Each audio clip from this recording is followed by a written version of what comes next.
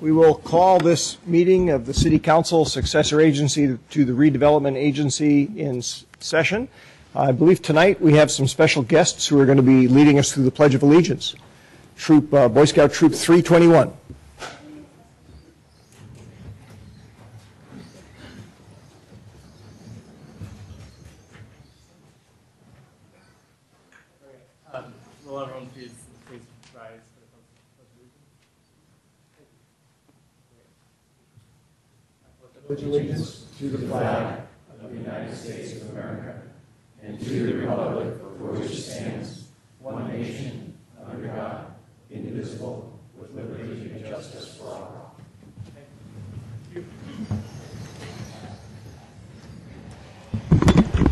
Thank you, gentlemen. As you can see, we're all well-trained. We stood up before you even told us to, so. um, um, uh, you- As you can see, we're all well-trained. We stood up before we were even, even directed to. Um, All right, so uh, changes to the order of the agenda. Mr. Maltbie, Jeff, do we have any? No changes from staff this evening, Mr. Mayor. Okay. Uh, Any from the dais? Um, I am going to suggest, since we have, at- I have at least, I think, six or seven cards here, speaker cards, that I believe are related to uh, uh, an item that will be coming up in council communications and announcement, that if it's all right with everybody, I'm going to do the general public comment first before we, we do that. So we'd move that up. Is everybody okay with that? All right. Um, Report from closed session. Greg? There is no report from closed session, Mr. Mayor. Thank you, Greg. Um, So as I mentioned, we're going to do uh, um, the public comment, general public comment, a little out of order here. Uh, I do ask that speakers, when they come up, try and limit themselves to about two minutes each. Um, We do have a number of people who wish to talk tonight. We want to make sure everybody gets treated fairly and equally. So uh, I'll announce names, and I'll do them in pairs, so we'll have individuals come up, and the next person can basically uh, be getting ready to to come up. First up is Matt Coet followed by Katie Stamos. And I apologize if I mess, mess up anybody's name. Feel free to correct me.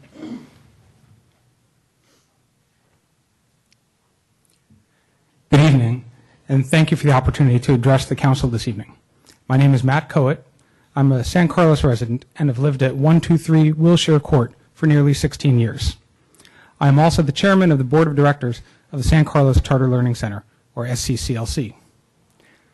I'm speaking to you this evening to express my support for a possible land swap between the city and the, the San Carlos School District to make the North Crestview parcel available for development as a new school site for SCCLC. For background, SCCLC is the oldest charter school in California, having the distinction of holding charter number one from the state. As a public charter school, SCCLC operates with autonomy under a charter approved by the San Carlos School District. Our funding stream is essentially identical to the district on a per student basis. And we are also full partners in the community wide fundraising organization, the San Carlos Education Foundation. We've been working in close partnership with the district on solving our school land use issues and challenges. As a school of choice, drawing our enrollment from across the entire district, we're the only portable school in the, in the sense that no local attendance boundary ties a specific neighborhood to SCCLC. Our students come from any, every corner of the district, including the neighborhood around this site. We have affirmed to the district our readiness to move to a new home that can suitably, be suitably built to accommodate our educational program for up to 400 students. After years of searching, however, it is clear that our city is nearly depleted of suitable land for a new school construction. The opportunity to conclude a successful transaction to develop the North Crestview site may be the last best hope to avoid further impacting the community with more school crowding, traffic congestion, athletic field loss, and general reduction in the quality of life. Much work remains to reach an equitable agreement between the city and the district, and you will be hearing from many stakeholders. Please know, know that I am supportive of this proposal. Also, if you would like to learn more about our school, I invite you to visit us. We are very, very proud of what we've accomplished in the past 20 years, and we'd be happy to show you what it is that we do. Thank you for your attention and time. Thank you, Matt. Katie Stamos. Good evening. And, uh, pardon me, and followed by uh, uh, Jessica Welcome. Katie. Good evening. My name is Katie Stamos. Um, I want to uh, echo um, the previous comments and express my support for the land swap, and please urge the board to um, place the item on the April 14th agenda. Um, I also ask that you consider it from the perspective of what is the best outcome for the most San Carlos residents, not only currently, but over the next 50 to 100 years. Um, There will be tens of thousands of students that are educated in our public schools over that time. There will be tens of thousands of children and adults who will use our public fields. And I do ask that you will take into consideration our long-term public interest. Um, I understand that this is a difficult issue. Um, I think that the faith that we place in all of you when we um, elected you is that, um, is that we- you would take those on and consider them with an open mind. Thank you so much. Thank you. Um, Jessica, welcome, followed by uh, Carrie Giles or Giles? Giles, thank you. My name is Jessica Welcome. My family and I, which includes my husband and our two daughters, now ages 5 and 8, moved to San Carlos from San Francisco in 2010. Out of all the possible towns on the peninsula, we chose San Carlos. I could say that we chose it for its excellent schools or its thriving downtown, or that it reminded my husband and I of the small New England towns in which we grew up. And while all of this is true, the real reason we chose San Carlos is because everywhere we went, we saw children. Four years later, I still see children everywhere, and I'm told that this trend will continue upward. I love this town, and I love our schools, and I'm increasingly sad that my children will likely have to go to another town for high school because the land was sold to build houses. Houses that are now filled with children who also have no local high school. There will always be developers here, but the sad reality is that there won't always be land for the public good. This city is full of children, and children need schools that can accommodate them. They also need wide, open spaces in which to play. I am here tonight to urge the City Council to address the proposed public land swap in open session at its April 14th meeting. Thank you.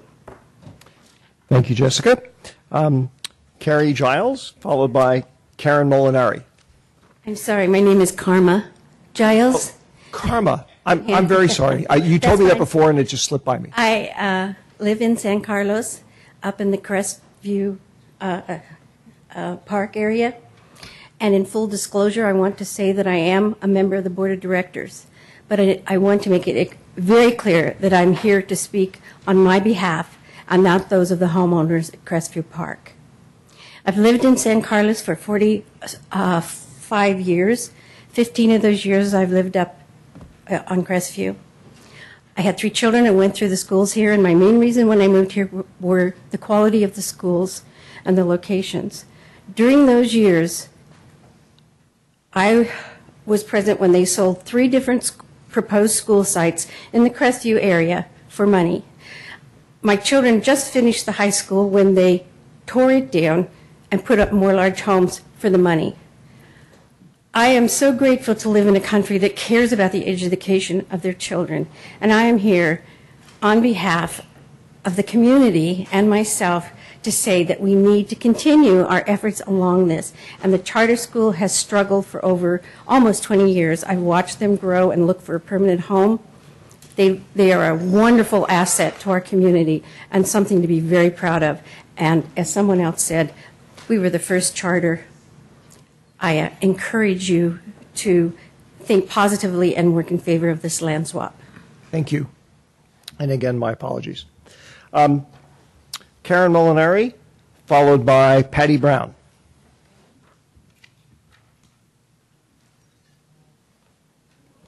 Good evening, Mayor and council members. My name is Karen Molinari, and I live on Coleman Court in the San Carlos Hills.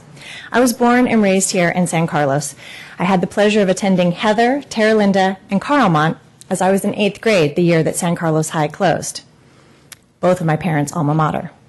I feel very lucky, though, that I've been able to return here to this town and raise with my husband our children, who are fourth generation San Carlins. I don't know too many people in this town that can say that. Okay? I ask that you seriously consider this land swap between the city and the San Carlos School District. And as somebody who, as the previous um, speaker said and noted, watched the city sell land and, and remove San Carlos High School, remove Loyola School, thankfully keep Tierra Linda, because now we're seeing how much it's needed. I really ask that you consider the long-term sustainability and quality of life in our community over a short-term financial gain. And I really hope that you will seriously consider this land swap. Thank you. Thank you. Um, Dimitri Vangelis.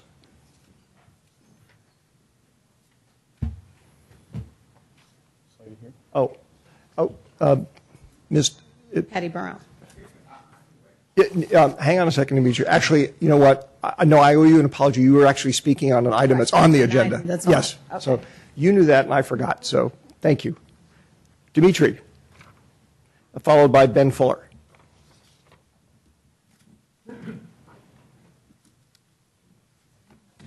There we go.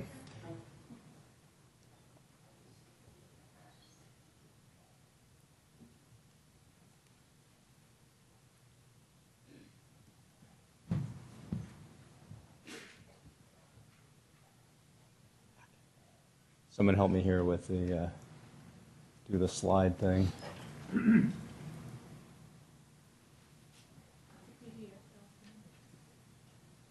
Yeah, I know it is, but there's, there's a way to, oh, read mode or something, full screen mode, here we go, thank you. Okay, uh, I'm here on a slightly separate subject. Um, It's about the Caltrain electrification, EIR. And um, it's really what I'm seeing as a reneging of the trees uh, that were proposed for the transit village. Uh, In the EIR, the draft tree inventory uh, has an estimated number of trees to remove as 78, just about 80 trees. Uh, You can take a look here uh, from the EIR document. Um, It's all around the train station. Um, From what I, from what I can make out of uh, the somewhat obtuse EIR is uh, the sections in yellow are where the uh, canopies occur. Um, And uh, basically what I'm calling it is the Caltrain Samtrans Kill the Redwoods Plan. Uh, It's stating that they're going to, clearly stating that they're going to cut down all the redwood trees, which uh, they had spoken about is being used as screening for the transit village. Uh, The redwoods happen to be the official state tree of California. Uh, This EIR was not written yesterday. Um, On the public record, I I placed on the public record um, emails from Samtrans staff. It was part of uh, quite a number of discussions. Uh, Samtrans staff uh, denied that there would be any removal of trees and stated the existing trees would provide screening, and it looks like that's not going to happen. Uh, uh, Yeah, uh, it- as a matter of fact, there- there's, how how do I go backwards here? Ah, here we go, yeah. Um, uh, You know, s- Caltrain Samtrans talks about outreach, there's about seven people in that, in- in that public meeting.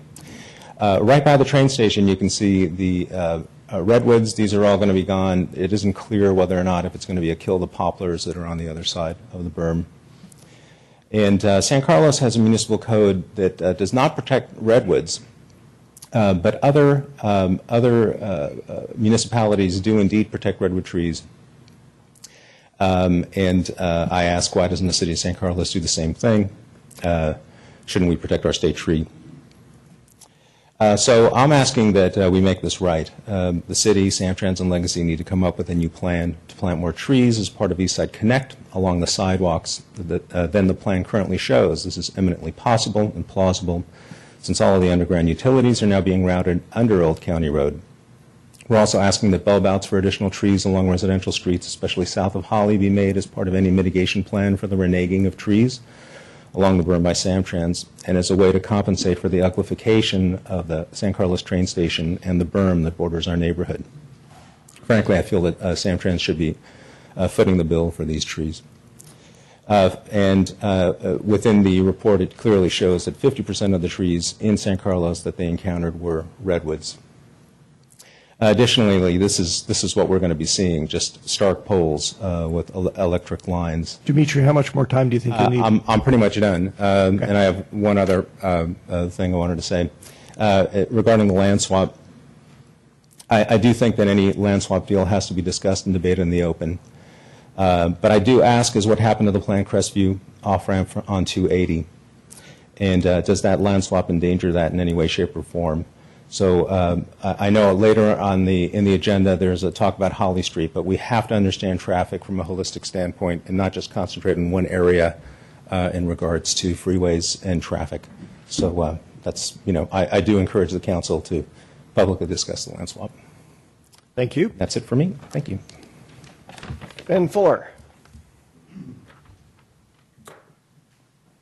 Hello, Council. Ben Fuller, President Greater St. Carlos Neighborhood Association. It's great to see everybody here uh, from our city. Um, We've been here the last seven or eight years, and it's nice to see all the folks showing up on an important issue.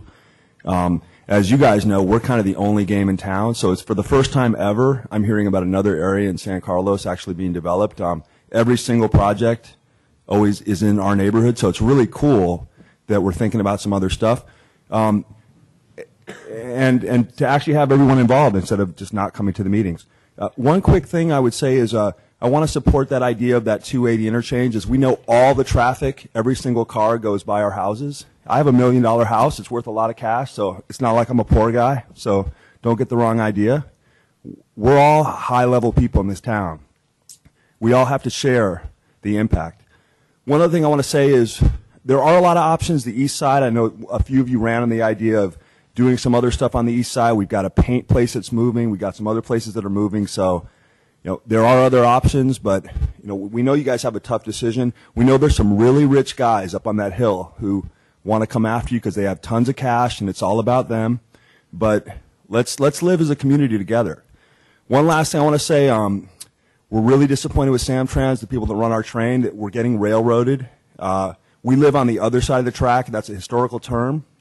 And what that means is uh, we've been promised trees. We've been promised a great community. We understand now they're trying to back out of building the transit village we spent 10 years building because they didn't get their way. They're like little kids flipping the checkerboard because they're not going to get their cash. And we just want to let you know that we're not going to stand by idly. Um, and if, if they threaten to leave town, you don't need them. You can bring in Google, Apple. There's all kinds of other great companies. If they want to be bad neighbors, let them go. Thanks a lot, guys. Thank you, Ben. Um, Stacy Emery, which is the last of my cards currently, but it looks like there may be one more at least. You're up, Stacy. Thanks for having me here, you guys. My name's Stacy Emery, and I'm the director of the San Carlos Charter Learning Center.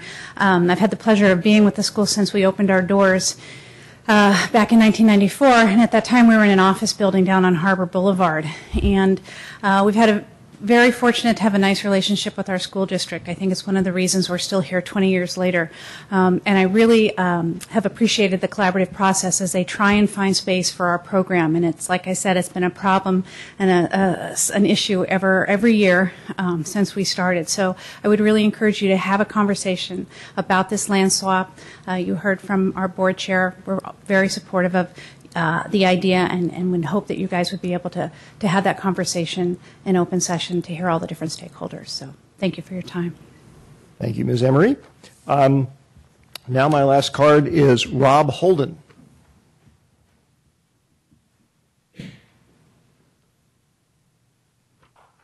Good evening. Um, Thank you very much for uh, taking my, taking my comments. I just wanted to uh, also step up in support of the land swap issue, um, mostly just to bring the awareness up. I uh, am the president of San Carlos United Soccer Club. I've also been a resident of San Carlos for 18 years.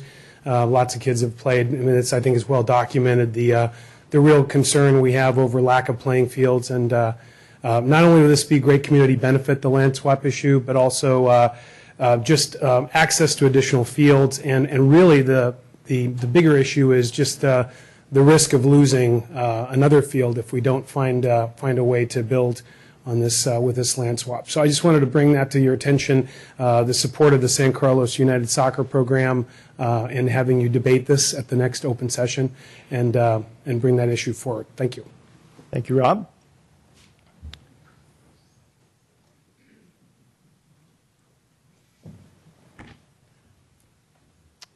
Kathy Mark. I wasn't really prepared to speak, but I'm going to be the negative Nelly of the group. My name is Kathy Mark, and I've been a resident of San Carlos for 20 years, of which those 20 years I have lived in Crestview Estates.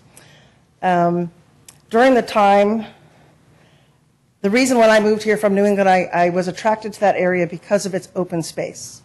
And over those 20 years, I have seen San Carlos prosper, change, grow. But I do think that we need to consider everything. The Crestview Estates is made up of 277 units. The La Ventana environment is made up of approximately 100 units. And unlike another statement that was made, there are not very many children in that area. I do have a son in the sixth grade at Tierra Linda, and I totally understand the need for changes in our schools and expansion for future population. However, I don't necessarily feel that this is the right place. There are traffic problems up in Crestview. Some of them are speed related, some of them during certain times of the day are in fact congestion related, though a lot of people don't realize that. It's also become a thoroughfare, a cutoff from Edgewood, uh, entrance to 280, up past and down Club Drive, um, down uh, Brittan, et cetera. So we do have a traffic problem um, there that needs to be considered. Um, I, am glad that it's now open to the public, and I would just like to say that there are people, plenty of people, who need to stand up and speak out. There are other options. And one of the other key things I wanted to make was in reading the articles that I saw in the newspaper, fields are, yes, important. However, in, in the paper, and I don't know what, if you read, everything is true or not, um, having fields behind Tierra Linda would require that the city purchase a home and demolish it so that we could make a new entrance. I don't know if that's going to come about, so how do we have a field behind the school without adding more problems there? Um, additionally, the projects for facilities in the San Carlos School District uh, are estimated to be $150 million. We already have, we only have 75 million of that um, funded, to my knowledge. So I anticipate that any new school building would require yet another measure on our ballot. Um, So I don't know, well, there might be a lot of people who own million-dollar homes up in Crestview area. Um, I don't know how much you can get from a stone. The income and, and economy has changed, but there are limits as to what we can do. So even if we did have a land swap, do we have the funds to actually build that school? Or can we take the funds that would be required to make it an equitable trade? Ms. Mark, how much that- longer do you think you'll need? And use that to build on the land that those school districts already own. Thank you. Thank you. Um, Sandy Rosinko? Good evening, council members. Thank you. I'm sure you probably know who I am because I also have been emailing you, and I'm I am a resident of, on Crestview Drive, and I again also have to kind of weigh in on the the side of concern because, frankly, um, I, while I understand the need to expand schools, I don't think you appreciate the impact of that it would have on the neighborhood from a traffic perspective. And and your response, Mayor, for example, is that you know you want to make sure that one area is not impacted disproportionately than another, and I can appreciate that. It's a hard decision to make, but I submit that that our neighborhood, including the the people who reside on Club Drive all the way up to the top, as well as Melendy and Brittan, are going to see an amazing traffic increase um, from this project. And I don't think that that is being adequately considered. Um, I too want it on the ballot. I, do, I too want people to weigh in. I think April 14th is frankly not enough time because we've just started to get information out to our residents. I don't think people on Club Drive and other drives that will be impacted have in fact been alerted to this.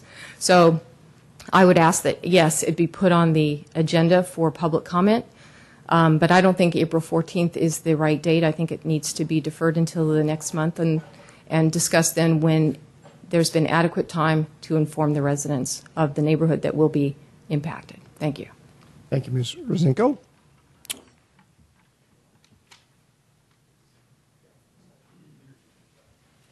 Hi, my name is Rob Cohen. I uh, am a parent of two kids at the San Carlos Charter Learning Center, and I live up in Crestview Park, and I just wanted to support the um, bringing forth the land swap on April 14th. I think it will be uh, very important. I think it's important to expand um, in an area such as this, and I just wanted to to say that I, I actually think that um, that just in general, it's a, it's a very good idea and needs to be brought forth as as others have stated. Thank you. All right. Um, That was the last of the public speaking cards that we had for topics not on the agenda. Um, So with that, thank you, all- thank you all, by the way, for uh, pretty much adhering to the two-minute or less uh, uh, limit, which, which we all appreciate, and I know you all do as well. Um, Next item is going to be uh, council communications and announcements. Cameron? Thank you, Mark. Um, the only communication I have is one that we are all aware of, which is uh, I attended the strategic retreat last week, which I thought was um, very good, collaborative, creative session, and uh, we came up with a lot of great priorities for the next six months, and I'm really excited um, to get to work. Thank you, Cameron. Matt? attended a meeting with uh, Mr. Grassilli and the architect regarding the remodel for the space that we're in. Um, and I suppose those types of final decisions, while we gave some comment to the architect, will be coming to the dais. Um, and the only other thing that I wanted to comment on really is this uh, issue about the trees along the rail corridor. And I'm wondering, Mr. Mayor, if we might have something on the dais at some point soon regarding that issue. And it was alluded to the idea of the transit village possibly changing or whatever. And I, I don't, I haven't heard what that schedule is. So if we could get some information from that from staff, or if you happen to know, I would be happy to know that. Uh, Actually, I was, uh, uh, it's your lucky day. We need two people to do it, and I agree with you. I'm sure others may as well. I'm not trying to imply nobody else does. Uh, I I think we should agendize that, Jeff, uh, uh, both a review of the situation and a response potentially to Caltrain, Very good. Thank you. Including the trees. including the trees, yes. Um, Anything else? That's it. Bob? Uh, Mr. Mayor, um, um, I would just uh, echo Mr. Grocott's column, uh, comments about uh, our meeting about the uh, redesign of this, uh, this room. Uh, It'll be coming to, needless to say, it'll be coming to the full council when we have all the the the ducks lined up. I think it's going to be a a marvelous project. Um, I don't believe that there's any meetings that I went to in the last two weeks. I'm trying to think of what, well, I don't think we had any scheduled uh, items except our, as Mr., as Cameron said, uh, uh, our, our retreat. So no, no other comment. Okay, thank you, Bob. Ron? Uh, Thank you, Mr. Mayor. Uh, Didn't do a lot in the last couple of weeks. I did attend, uh, the, uh, I'm part of the uh, uh, Housing and Community Development Committee, which is a a county committee which doles out the paltry funds it gets from the federal government to help people with various uh, housing improvement projects and that sort of thing around the county. Also uh, attended a HEART program committee meeting, which is another uh, organization. HEART is Housing Endowment and, uh, and uh, Real Estate Trust. And we talked about, again, uh, finding ways for HEART to invest its uh, funds for better uh, housing and uh, low-income housing and affordable housing in the county. And then I'd just like to add my agreement to Cameron's comment about our retreat. It was very productive, and you get a lot of good ideas when you have uh, several hours to talk about what the best things are, what the future are, uh, future is for the city. Thanks.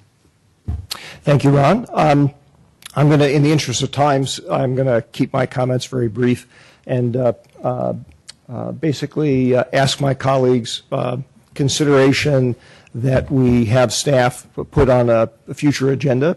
I would suggest the April 14th meeting uh, the beginning of a discussion about uh, the land swap proposal that the uh, um, uh, San Carlos School District uh, brought to, brought forward last week.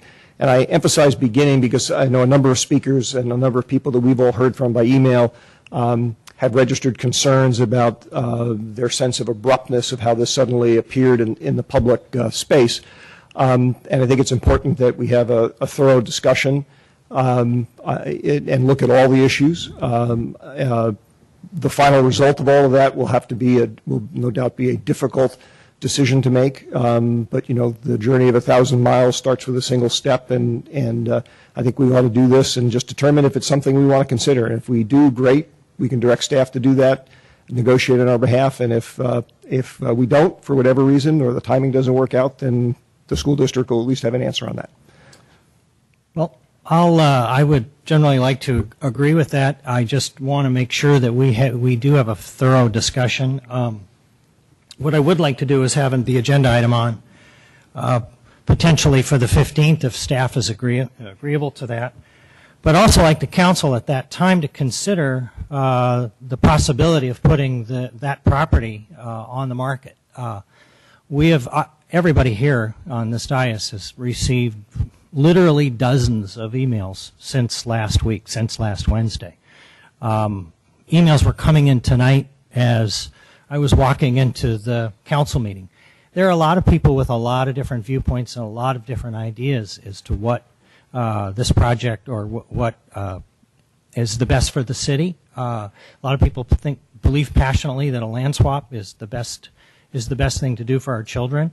Uh, having grown up here, uh, having gone to three of the schools and worked at a fourth uh, that wasn't necessarily in the district but was in the city, um, I'm a product of the school system. So I don't want anybody to get the idea that I'm not uh, supportive of, of uh, what is best for uh, the San Carlos School District. I, I am. I'm, my children also went through the school system here as well, as did my wife. But there are a lot of issues that we need to explore. Um, one speaker talked about the possibility of what will happen if uh, we do the land swap. Where will we find that money uh, to develop the field? That's a very good point. It would cost somewhere between 10 and 15 million dollars to develop that field. So we have to talk about that. We have to talk about all the unfunded projects that we have in this town.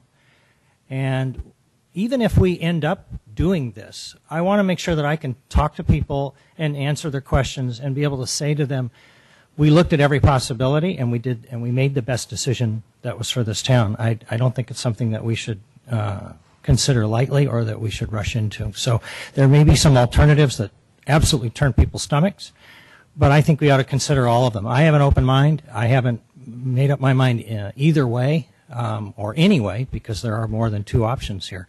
But I think we ought to talk about it. And uh, if the 15th works for staff, I'm, I'm probably okay with that. 14th might work better. Did, did I say the 15th? That's okay. I think we all knew what you meant. Oh, come on the 15th. no, no, I think we're probably The thinking about taxes. I was thinking about my, my taxes. I- actually, April 14th. I I am, uh, uh, uh, since, you know, I made the proposal, I am fine with uh, clarification, because I think you're absolutely right. I mean, the, uh, I I am a supporter of this uh, for reasons that I've described. Um, If there are issues that come up that cause me to change my mind, so be it. Um, But really, the issue that we have to decide is, is whether, you know, what do we want to do, if anything? Because the other option is to do nothing at all, okay?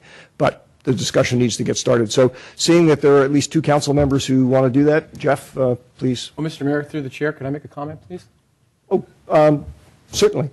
Mr. Maltbie, what is on the 14th, and are there items that we need to talk or uh, accomplish for the, uh, you know, that possibly could trump this? Timing items. Yeah, I don't, I don't have a copy actually of the 14th agenda, the draft agenda in front of me. Um, We'll be discussing it tomorrow. Uh, If it's a desire of the council, we'll move things around to try to balance the agenda so that we get the business that we need to accomplish, and there are some items that need to come forward. One item that is scheduled to come forward on the 14th is, in fact, a discussion of the uh, electrification EIR, uh, because the comment period closes the end of April. So we'd like to get the comments from the council at that meeting so that it could uh, come forward. The uh, Public Works Director just informed me of that. Uh, So there are some other items as well, but we can juggle it around and, and take a look. And uh, if it's not at all possible uh, to do, uh, we'll get it the very next available uh, meeting if there's things that have to be done. Well, that's the only concern, Mr. Mayor, is that, you know, if there's, could be timing, uh, and I'm not trying to say we should, I'm not trying to delay this, but I'm trying to make sure that we also get the rest of the work done that we have to get done in the city.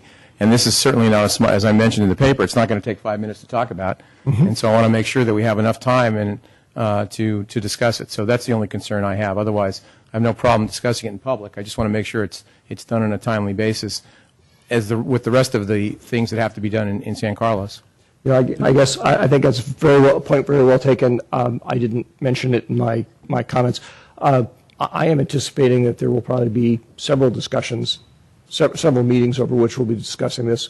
Um, um, um, You know, large things tend to take time to work through, both in terms of comments and thoughts. Well, I know So- we're going to decide on the 14th or whatever if we talk about That- it. that's my point. I I just wanna make make sure that we have enough, uh, and we don't, it all of a sudden doesn't become the 800-pound gorilla and the rest of the city's business gets pushed to the side. I just want to make sure we all get it squared away. Matt?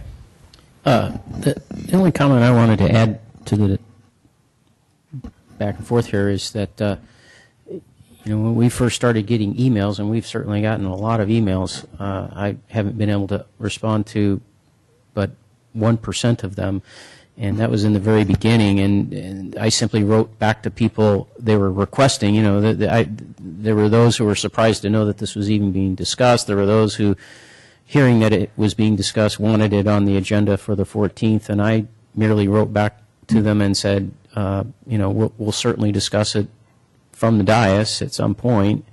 Um, and, uh, you know, that may or may not be the 14th, but that kind of thing is up to the mayor and the city manager. So that is revealing of my feeling about it is, you know, I think that's in part why we go through the process of electing a mayor and uh, is to set the agenda. And if it seems to be something that's important for the 14th, so be it. If it comes later, uh, so that, that's where I'm coming from on it. Fair enough. Can, can I just ask one point of clarification for, hmm? for our benefit, for the public's benefit? And Jeff, do you have a sense of what, what is it that we would do on the 14th? What would we discuss or what's, what's being proposed other than to have a discussion?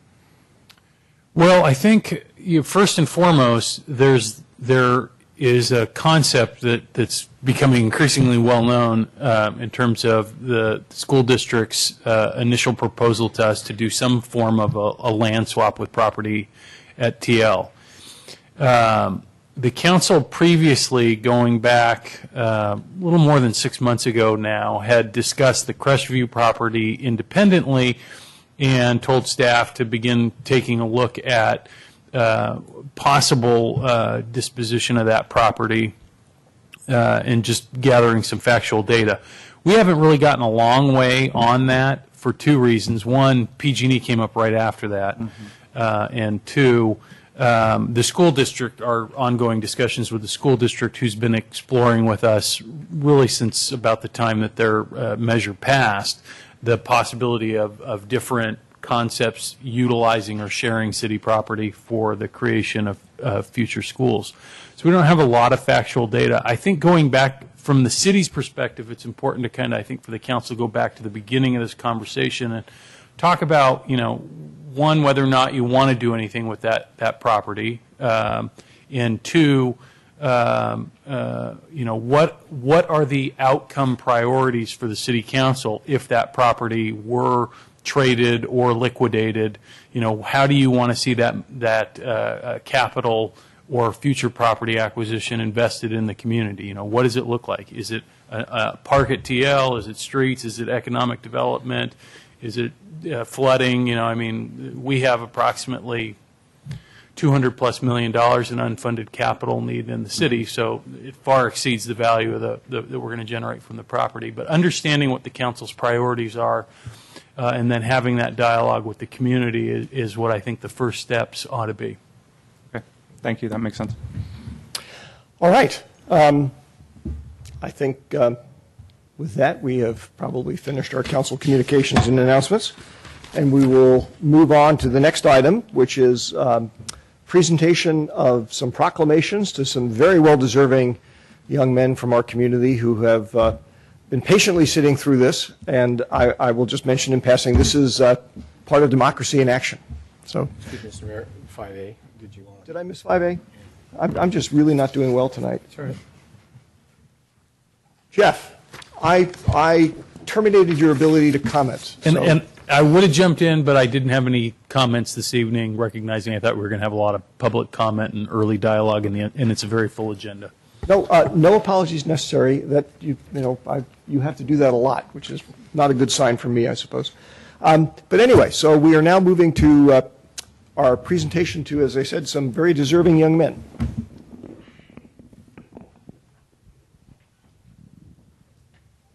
You did that using your iPad? You did that using your iPad? Who have uh, honored themselves and their troops and uh, their troop, excuse me. And uh, are you all part of the same troop?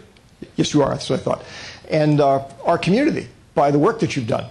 Um, and in fact, uh, we're going to do something a little different with the proclamation tonight, just because uh, we want folks to be able to see what you did for your Eagle Scout project and give you an opportunity to talk about it a little bit. So uh, um, I thought what we'd do here, as as uh, Crystal is setting things up, we have this up on our, our computer. Uh, Sean. So um, uh, would you like to tell us a little bit about your project and maybe show us a little bit about it and talk to us about it? Okay, so for my Eagle Scout project, um, I refinished the floors at Mahaney Hall. Um, that's the hall um, that is adjacent to the Children's Learning Center, um, part of the United um, Church of Christ. So um, for that project, I had to bring in a Hilliard and refinish the floors with a few layers of Endeavor. It's not a very interesting project, but it made the floors sparkle like it hadn't before in about 20 years. Uh, it turns out that the church had been using the wrong um, sort of layering for the floor these entire few years, so we got that clarified. And for now, I believe that we'll have the floors looking much better for the rest of the time. That's great. And uh, um, don't dismiss how hard that is. Uh, I'm having a new house built, and my contractor's already told me horror stories about floors and finishing and stuff. So, in fact, if you think you have the skills, we might. No, I'm just kidding. so, um, so, Hunter, would you like to tell us a little bit about your project? Sure. Hello. My project was at Eaton Park. It was the part of the trailhead. Sorry. We built a map holder, eight foot tall and four foot wide, four foot deep, and it will house a map that currently isn't ready yet, but hopefully it soon will be. Yes, Morgan, I'm looking at you. And when she puts it in, it'll be complete. It has a tin roof and it's built out of 4x4 two post wood. That was Sean's. That's my board. There we go. There we go. Thank you. And, and actually, uh, thank you both for that. I mean, that's, uh, that, that's going to come in very handy for an awful lot of people. So.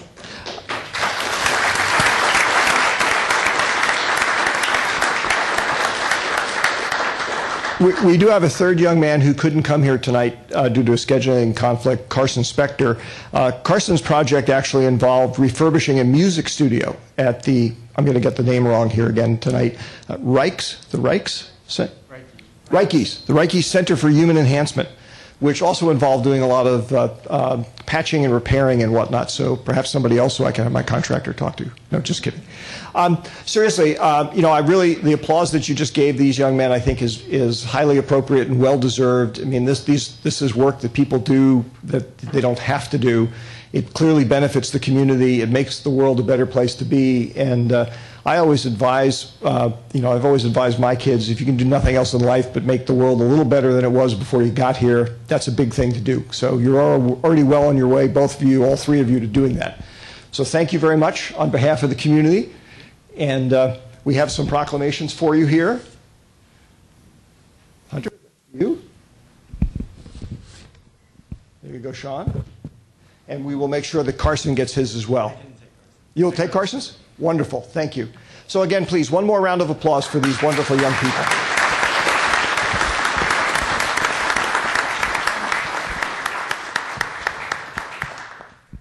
Now, we have one more proclamation to do tonight, um, uh, which is for an organization that, for my entire life, and probably for most of yours, it always seems that it's always there.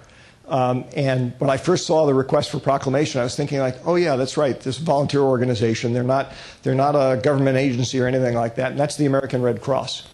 Um, and so uh, tonight, what we're doing, um, and uh, by way of uh, making March American Red Cross Month in San Carlos. So uh, our thanks very much to all the good work they do, not only in the peninsula but around the country, um, and definitely an organization worth our recognition and support.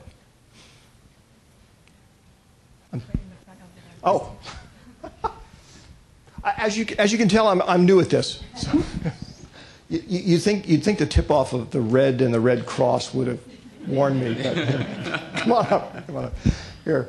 So again, uh, I meant everything that I said, uh, and, and I, I really do, I really do appreciate all the work that the Red Cross does, and, and the least we can do is recognize, recognize your work and, and remember to have you come up and stand up here in the limelight. So is there anything either of you'd like to say? Sure, thank you. Um, I'm Rod Lair. I am the Disaster Assessment Lead, um, San Mateo County, and the past chair in San Mateo County. And this is Mike Yee, who's our government um, operations lead. And uh, want to thank everybody in our community. Um, we were one city that did not have any disasters that we responded to this year. So that's excellent, one of few. Um, the past year, we responded to 40 events in uh, San Mateo County, five major events, one, the Asiana aircraft accident, um, two major Redwood City fires, and um, we want to thank you for the proclamation. Um, Red Cross, again, is almost 100% volunteer at our level. We have, in San Mateo County, we have about 150 volunteers, one paid staff person. And it just goes to show you people like Mike that, you know, give, that work every single day without uh, any, you know, with just the satisfaction of knowing we're serving our community. So we thank you very much, and um, let's do no more events next year. Yes. In San- That's, that's right. Thank you. Thank you. Okay.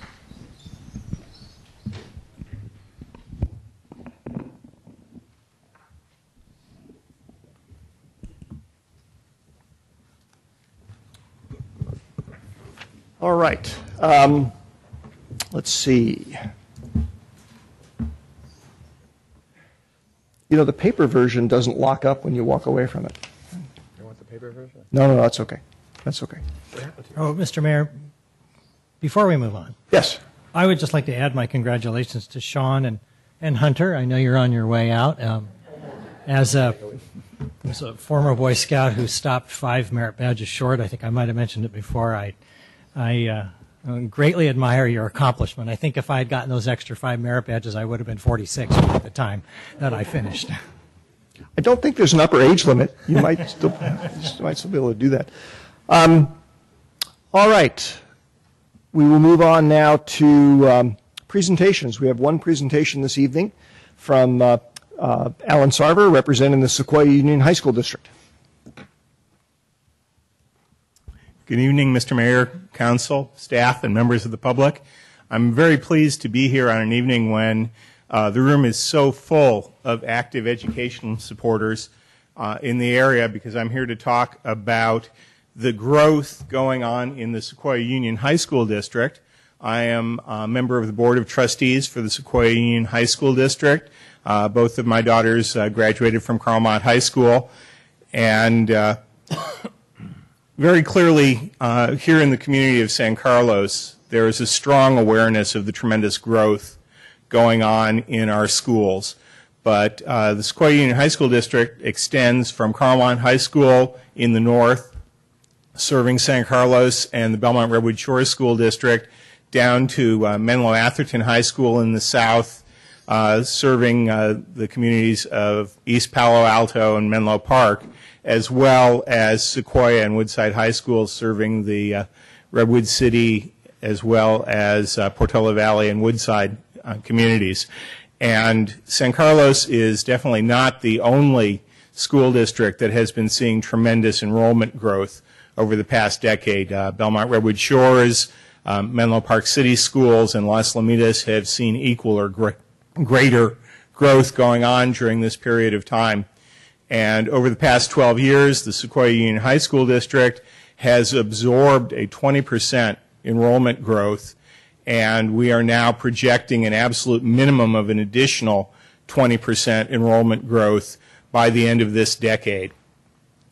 Uh, the Sequoia Union High School District uh, was has been well supported by our community from end to end, who have put in place a number of bond measures over the last 20 years that have allowed us to modernize and grow our high schools, to continue to provide excellent education to the growing number of students we have had.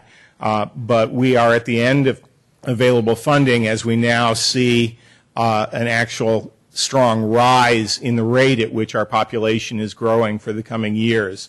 And so the district has been looking at all of the growth options around uh, the district. There is an intention to do uh, some construction on each of our existing comprehensive campuses, but to strongly approach the growth primarily through the addition of new small high schools. Uh, and they are aimed to be at least one in the north here in the San Carlos area that would alleviate some of the growth pressure on Carlmont High School and to a lesser extent Sequoia, and one in the south uh, that would alleviate the even greater growth pressure on Menlo Atherton High School. And uh, with four operating small charter schools in our district, uh, we know that these small alternatives are providing great education value to our community, and there's a great appetite for small high schools. So we are excited to be pursuing that as part of our program here. To get all of this accomplished, uh, we are we are anticipating a minimum of growth from our current population of 8,400 to a minimum of 10,000 by the year 2020. And with the continuing strong economy on the Mid Peninsula, uh, the growth of new high density housing projects along the Caltrain corridor, and the attraction of the great K through 12 schools up and down the peninsula, there is every potential for the growth to, to far exceed that 10,000 number. So we have come up with a plan that will be flexible for that kind of growth uh, and would allow either the expansion of the two small high schools, the addition of more small high schools beyond that, or a bit more growth on the comprehensive campuses, some combination thereof. Uh, to be able to accomplish all of that, uh, the district has identified a need for a $265 million bond, which will go, which is placed on the June 3rd ballot. That translates out to $15.90 per $100,000 of uh, value on the uh, on the houses in the greater community. Uh, for a $500,000 home, that's about $80 a year. For uh, a $2 million, uh, tax valued home, that would be about $320 a year. Um, majority of homes at this point are fortunately valued uh, for tax purposes at the lower end of that range. And um, that is coming up on the June ballot. This will enable uh, the addition of some two-story construction on each of the campuses, including Carlmont, uh, but again, the greater thrust of the new development being in new small campuses to be developed. Uh, and with that outline, um, I'm happy to answer uh, questions that uh, the council would have. And then uh, I have had the opportunity to speak with uh, several of the council members, and I am looking forward to near future opportunities to, to speak individually with the remainder of you. Um, and with the council's permission, I we have generated uh, draft wording for a potential resolution in support of Measure A, which I would like to leave with the council for future consideration of in- inclusion on an upcoming agenda. Thank you, uh, Mr. Sarver. Um, by way of just explanation for, for my colleagues, uh, Alan, as you mentioned, I was one of the people that Alan uh, met with. Um, and regarding his last request there, I did explain to them, him that historically the council has generally not done that kind of endorsement, but that uh, I certainly had no objections if he wished to make the request, if the council wishes to act on it, or consider, not, obviously not tonight, but at a future meeting, that's up to the council. So with that, uh, questions for Mr. Sarver? Yes, Cameron. Uh, thank you, Alan. Um, so you kind of left us with a very sort of enticing uh, potential, um, but didn't but didn't go all the way. So I'm I'm a huge proponent of the possibility of um, bringing a high school back to San Carlos. I think that it would be a huge community asset. I think one of the challenges for a lot of parents is feeling like they don't know where their kids are going to go to high school, feeling like we separate the town, um, you know, to two two high schools. So, I wanted to maybe um, ask a few specifics. Um, so you, you, mentioned that there's money set aside for school construction. I, I noted that it's about $64 million.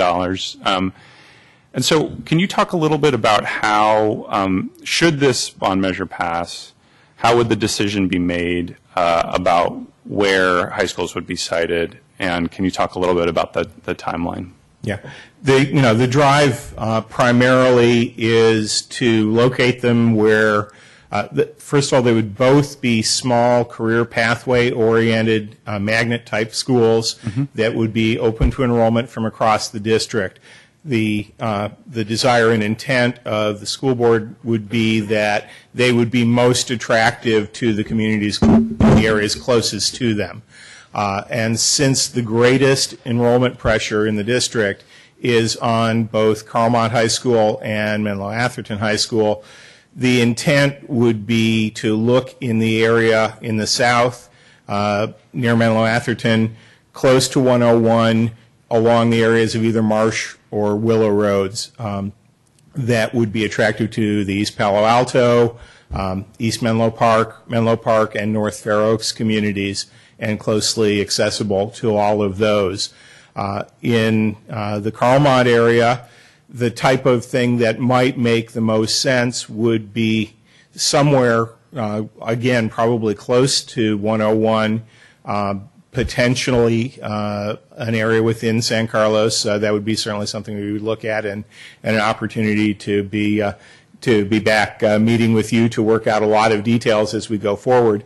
But an area, for example, close to Holly and Industrial, uh, might be very highly accessible and attractive to the um, Redwood Shores community, the Belmont community, the San Carlos community, and the Eastern Redwood City community, uh, all of which would be very effective at the uh, enrollment pressure uh, that we want to alleviate for Carlmont and Sequoia. Um, one of the first steps we've taken in beginning strategically to address the enrollment growth was to try to align our high school boundaries more closely with the individual middle school environments producing eighth grade graduates. Uh, and so specifically in the case of Carlmont and Sequoia High Schools, the border between them has been aligned now with the border between Tierra Linda and Central so that students that are growing up within the Tierra Linda attendance boundaries will now know from kindergarten going forward that their high school is Carlmont, and that as they attend middle school in the Tierra Linda facilities, they are indeed actively partnered with the high school across mm-hmm. the street from them, which includes um, a portion of San Carlos within its boundaries. It is a San Carlos high school. Um, and those uh, that are will be attending Central Middle School will be actively closely partnered with Sequoia High School. Um, and that type of alignment has been strengthened around the district. And, and so just, um, and I appreciate that, and, and, and uh, I think that does give parents some solace. It hasn't always historically been the case, and I think there is even some trepidation that it may not be historically the case going forward. But I think um, having some certainty about that is, is really important. Um, but just back to the other question about what's the process by which sites are chosen and what would be the, what is your, um, sort of construction timeline? You know, is it is it a decade? Is it five years? Is it three years? All right. So uh, we need to have uh, enough new facilities in operation uh, by 2020 to be able to accommodate 20 percent more population uh, than our high schools that are now operating roughly at capacity. Uh, so although we are trying to be very strategic and proactive on this, this is not a relaxed schedule. This is a schedule with some urgency in it. Uh, part of the reason why we chose the very aggressive schedule of, of going on the June ballot uh, is that we anticipate a minimum of a two full year uh, period from acquisition of funding to being able to open the first of the new uh, small high schools. Um, if we are fortunate enough to be able to find and acquire an existing school site, um, that might be able to be shortened. But if we are looking at something like a, a portion of a light industrial area, um, there may be, you know, substantial CEQA activities that have to go on, uh, um, which definitely lengthens the schedule. So uh, this June election is the minimum gateway to being able to open the first of our small high schools for the fall of 2016. We would ramp them up by admitting a new freshman class each year so that it would take four years to reach full operation. We would intend the second one to open a year behind so that we're able to leverage the experience of the first um, in rolling out the second one. So uh, we're already right against a full schedule to get those in operation for that full load of students in, in 2020. And would you be interested in a land swap? Um, As, as, once funding is secured and we are very actively involved in the land acquisition process, we are interested in being extremely flexible, creative, and coming up with the results that are most beneficial to not only all of the students in the district, but all of the communities and the partner organizations we work with. Great. Thank you. Ron, did you have some questions? Uh, Just, really, just one comes to mind. But thank you, Alan. Nice, nice report, and thank you for calling me the other day uh, about this. Um, As you know, because we're both on this committee to alleviate traffic issues, would any of these uh, proposals uh, take some pressure off of Carlmont's enrollment? Would it help reduce it a bit? At, this point, what we're trying to do is everything we can to mitigate the tremendous growth that we anticipate if, if we're not building out additional um, space. Part of the funding um, has been allocate, allocated with the intention of traffic mitigation support. So there is uh, an intent as part of this measure to try and, and put a little money behind um, our active partnership with the city and the Four Corners discussions about the Alameda corridor uh, between Tierra Linda and Carlmont. Uh, if we are as successful as we intend to be with excellent, exciting small schools, and we are able to open the ones that, that are greatly supported and greatly in demand by the public, and we see waiting lists in excess of the capacity that we build, uh, we will look for opportunities to expand them um, and and or add new ones uh, at the time. So I don't think we are yet on any kind of a trend that would see a decline in the Carlmont enrollment, but uh, the intention is to mitigate it and keep the additional impact to an absolute minimum. Um, the two most highly enrollment impacted schools Carlmont and Menlo Atherton are currently uh, the most fully at their physical capacity for the footprint they sit, sit on. They are the two that are most deeply embedded in quiet residential communities, and they are the two that have the most constricted traffic access. So that is where the focus has to be in our district on mitigating the issues and getting it right. And that's why uh, an early passage of this measure is so critical to the district.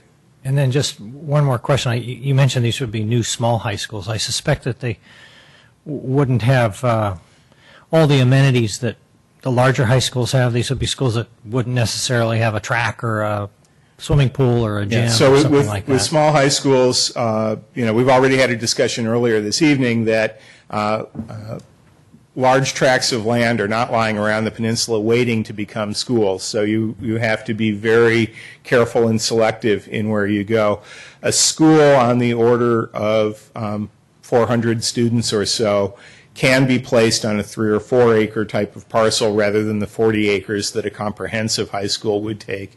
Uh, and so there are uh, it, a very focused program without um, ending up trying to be all things to all students the way a comprehensive campus is. Uh, there are still requirements, uh, not only legally, but in, in any clear understanding of educational responsibility, to have a full physical education program available to students of these schools. Um, some of uh, the facilities uh, for PE would be present on the small campuses. We are looking to have at least one of the small campuses that's, that's set up within the district have a substantial physical education park uh, adjacent to it that can be shared by all of the small schools in the district. And we will also look into opportunities to share some of the comprehensive high school, uh, more complete um, athletic facilities as well between the smaller schools. Thank you. Questions this side? Okay. Um, All right, so uh, uh, there was a request or the- the idea that uh, uh, Alan teed up at the end. Uh, Is there interest from the dais at this point of considering um, uh, this type of endorsement or not? Or do people want to think about it some more and Mr. Mayor, I, you know, echoing what you said earlier, traditionally, we haven't done that. And the reason, quite honestly, is that it might not be a unanimous vote.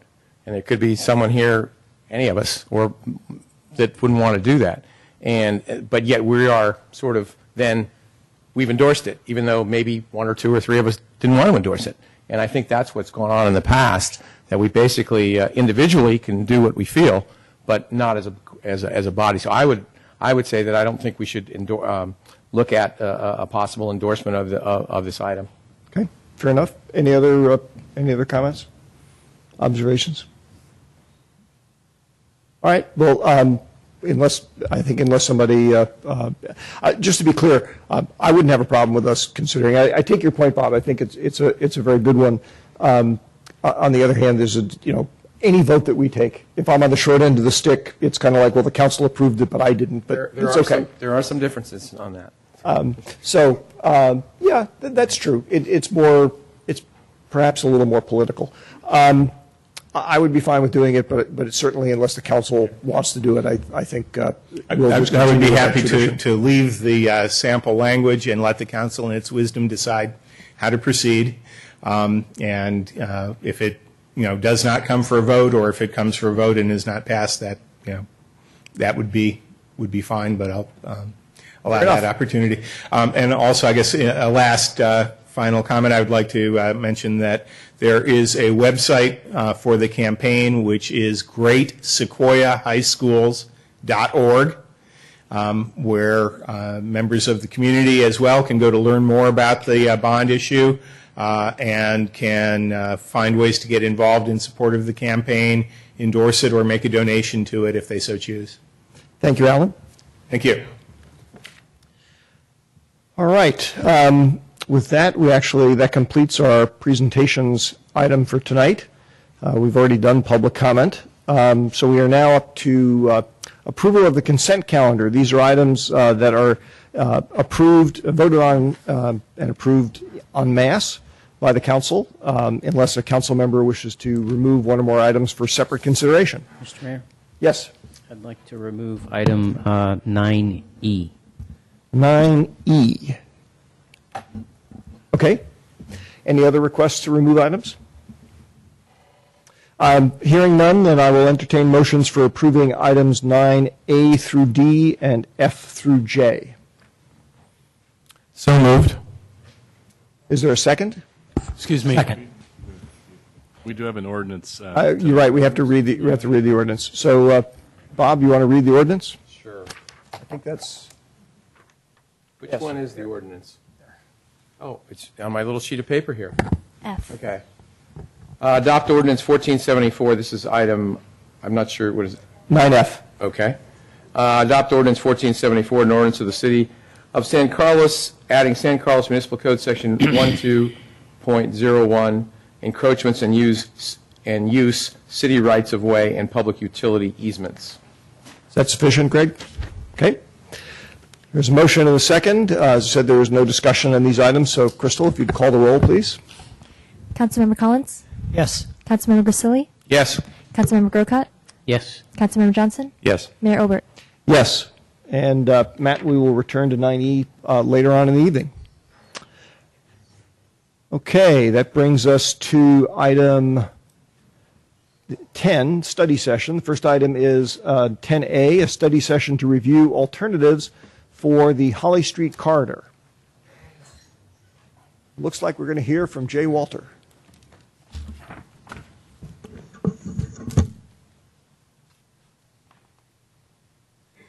Uh, Mr. Mayor, members of City Council, Jay Walter, Public Works Director. Um, pardon me while I. There we are. I get this at least ready to start. So before I ask our consultants to come up and, um, and make the bulk of the presentation, I just wanted to um, kind of set the context for the council and for the public listening. Um, Several months back, the council indicated a desire to, to um, uh, look into some ways that we could work to relieve congestion along the Holly Street corridor.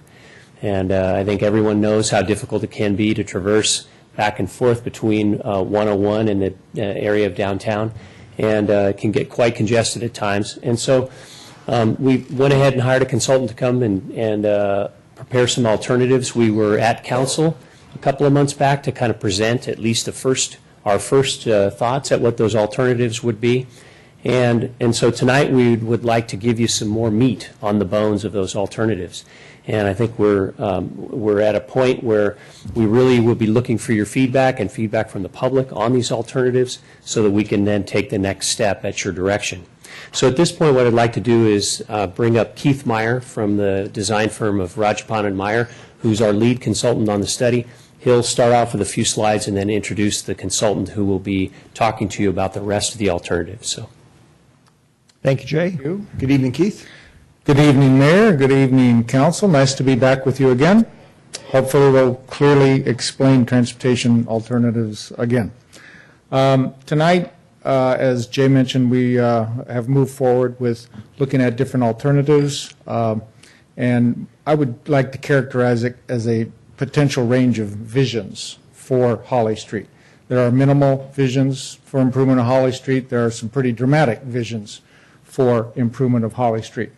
Uh, Since we are merely engineers who uh, implement things, there are a variety of professionals who, who dream very big. Uh, One of those firms is MIG out of Berkeley.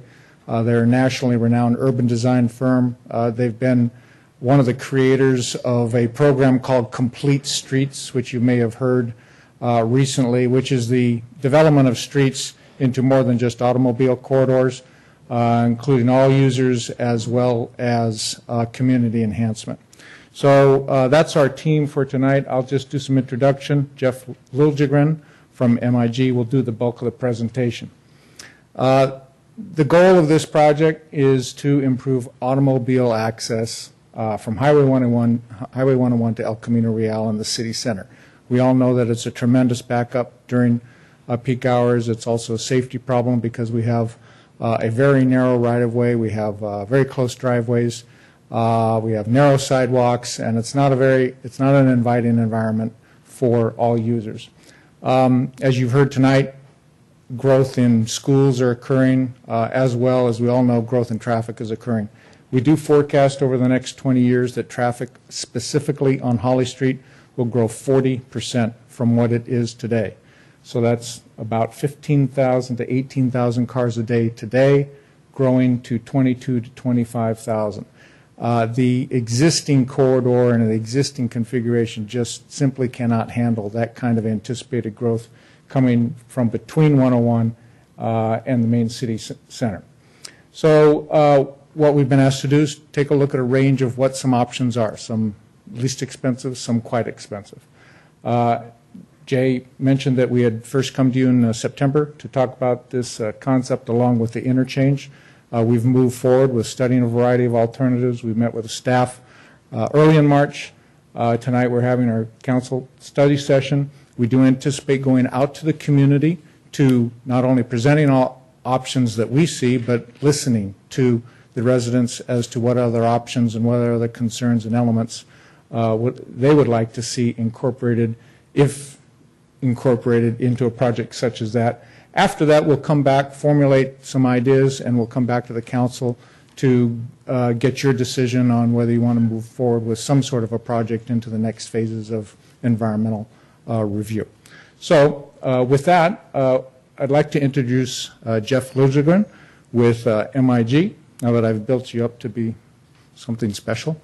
Um, he's going to talk about the goals of the work that we've done, uh, the, the study area, the context of, of uh, today and the future, uh, design alternatives, uh, focus in on some specific intersections down by Old County Road and El Camino Real.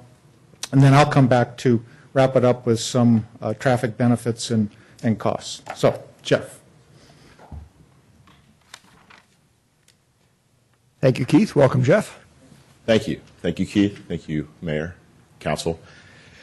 When MIG was brought in to be a part of this great opportunity to work at Holly Street and to think about how it could be rethought for the future, there, as Keith has alluded, there was really four goals that have been brought up to our attention. First being that we need to uh, increase the capacity of Holly Street for automobiles. But we also understand the city has, as being a very livable city that it is today, has aspirations for the future, for as it grows, to continue to be a very livable and connected community. And to, with Holly Street, to think about ways in which not only do we incorporate cars, but also incorporating bicycle and pedestrian connectivity into the city of San Carlos. The fourth and final goal was also to say, this is a great opportunity where we could possibly showcase San Carlos and look at it and show to people as they visit the community through off the 101 interchange or from El Camino Real how wonderful San Carlos is and will be. Here is your current road network. As you can see, here's you have interstate uh, exchange of 101. You come down Holly Street, crosses the industrial road here, comes down. You then meet up at Old County Road, and then you get to El Camino Real. Thank you. Built on that road network, you have a great multimodal connectivity already. That includes, hmm, put that back on. Let's go to the slideshow.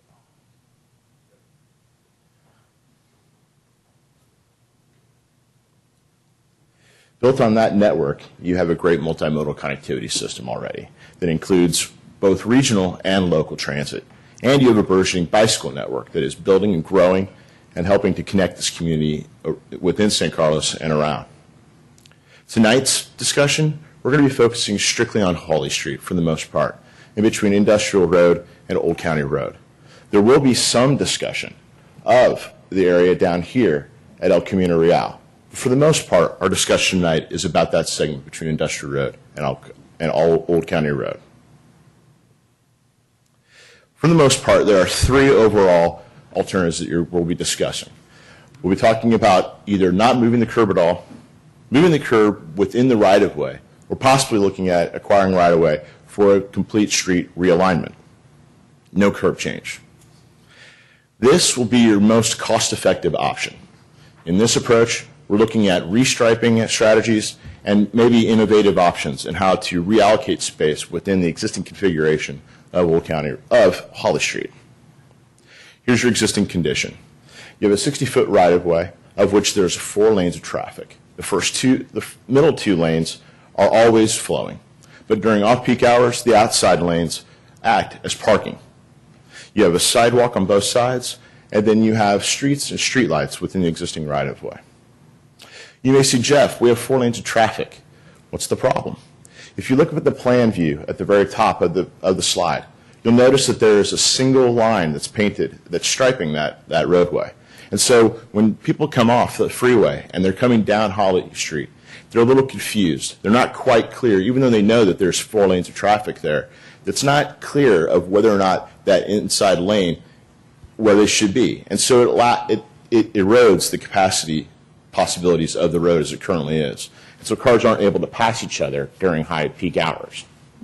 The city is looking to address that, and will be looking to restripe that this year, making sure that those 10-foot lanes that are in Holly Street are clear, and so that you will allow for passing of cars as they do queue up and use Holly Street, coming from the interchange of 101 down to Old County Road.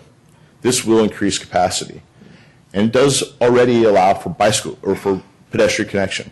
What it doesn't offer is bicycle connection in the current configuration that you have, you could consider some more innovative thinking, like a green lane. This is basically an enhanced bicycle corridor.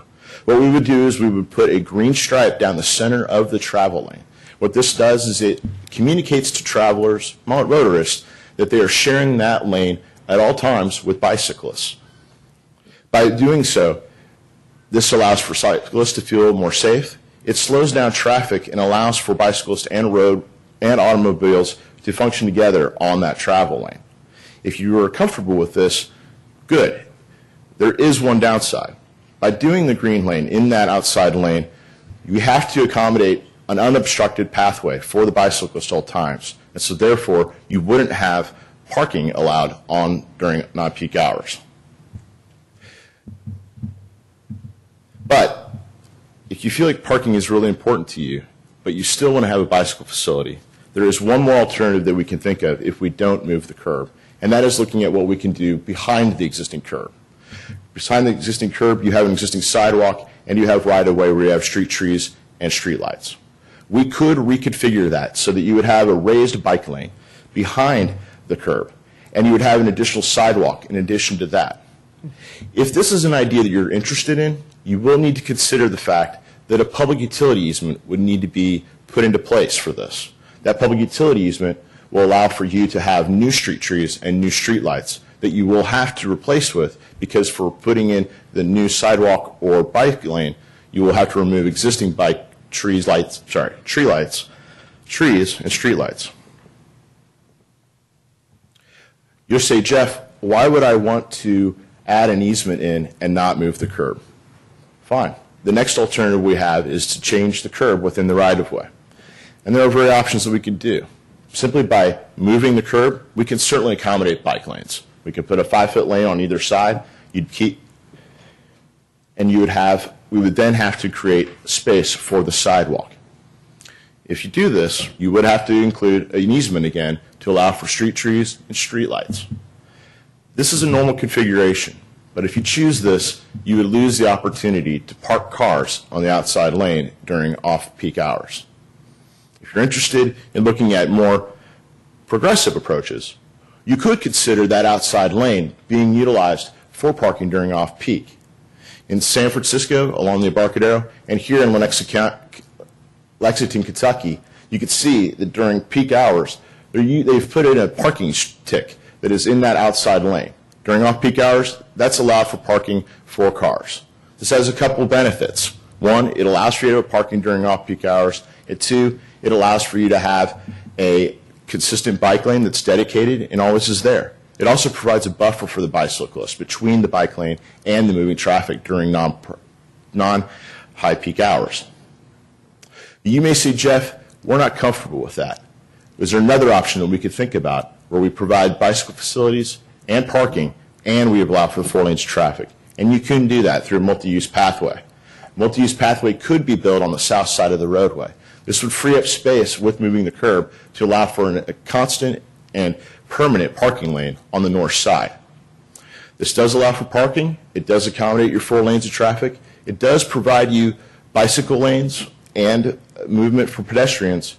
Again, you'll have to consider a utility easement, but the compromise here is that in that multi-use pathway, you only have eight feet to work with. And so you'll have to what will be compromised is that bicyclists and pedestrians would have to walk side by side with each other. The third and final option that we're presenting tonight is the acquiring right-of-way for a complete realignment of the street. Now, I'm not going to mince words. This is a big move. This is definitely your biggest move because by acquiring right-of-way, what we're suggesting is that we would acquire property on the south side of Holly Street. That's going to give you a lot of space. And that's going to give you an opportunity to really possibly transform and showcase San Carlos. Again, this is a very big move, and we refer to this as Restreets approach. A Restreets approach builds on the ideas of complete streets. Complete streets, as Keith has mentioned, is the idea of building, designing streets so that they accommodate all users, not just the car, but also pedestrians and bicyclists. Restreets takes it a little bit further.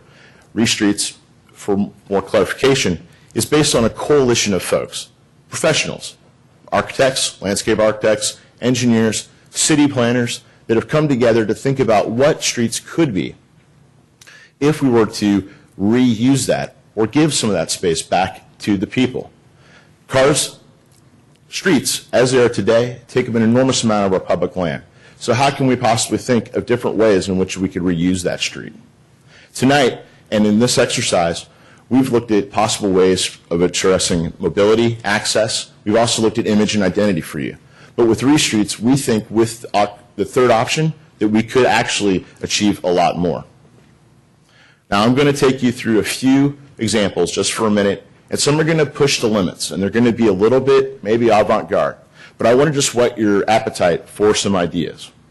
Here we have Octavia Boulevard in San Francisco, California. If we go back far enough, you'll remember that Octavia Boulevard at one time was an enormous interchange or freeway that cut through the city. They tore down that interchange and they created four, five lanes of traffic. And then by tightening that up, putting it on the ground, they were actually able to create more space that allowed for parks for the community. Octavia Boulevard and the neighborhood around it today has businesses thriving, people have places to play, children have places to be with their family, and it is continuing to thrive. You should also know that Octavia Boulevard, as it functions today, is actually capable of handling 50,000 cars a day, and it still allows for space for people to enjoy, and, enjoy their day and play. But it's not just about Octavia Boulevard. What we're looking at with Restreets is taking the unutilized parts of the road and thinking of ways where we can permanently, or maybe even just uh, temporarily, reuse them for other purposes. They can be a place for learning. It can be a place for people to relax with chairs and with planting to make a place for people. But we also think with Restreets that streets can be smart, that they can be an opportunity where we handle our stormwater, cleanse the water that comes off our streets. We can think about it as ways to showcase our community, to show, have public art, and ways for, for us to show how much we care about our children. There is even broader, even more out of bounds ways of thinking about it. In San Francisco, Detroit, other parts of the country, they're actually taking some of the land that is associated with the roads and they're starting to plant gardens and they're using that to grow local food. This has many benefits. Not only does it create healthy food for the local people that are there, but it provides a, potential economic development piece where it can actually sell food to local businesses, local restaurants, and people can cook.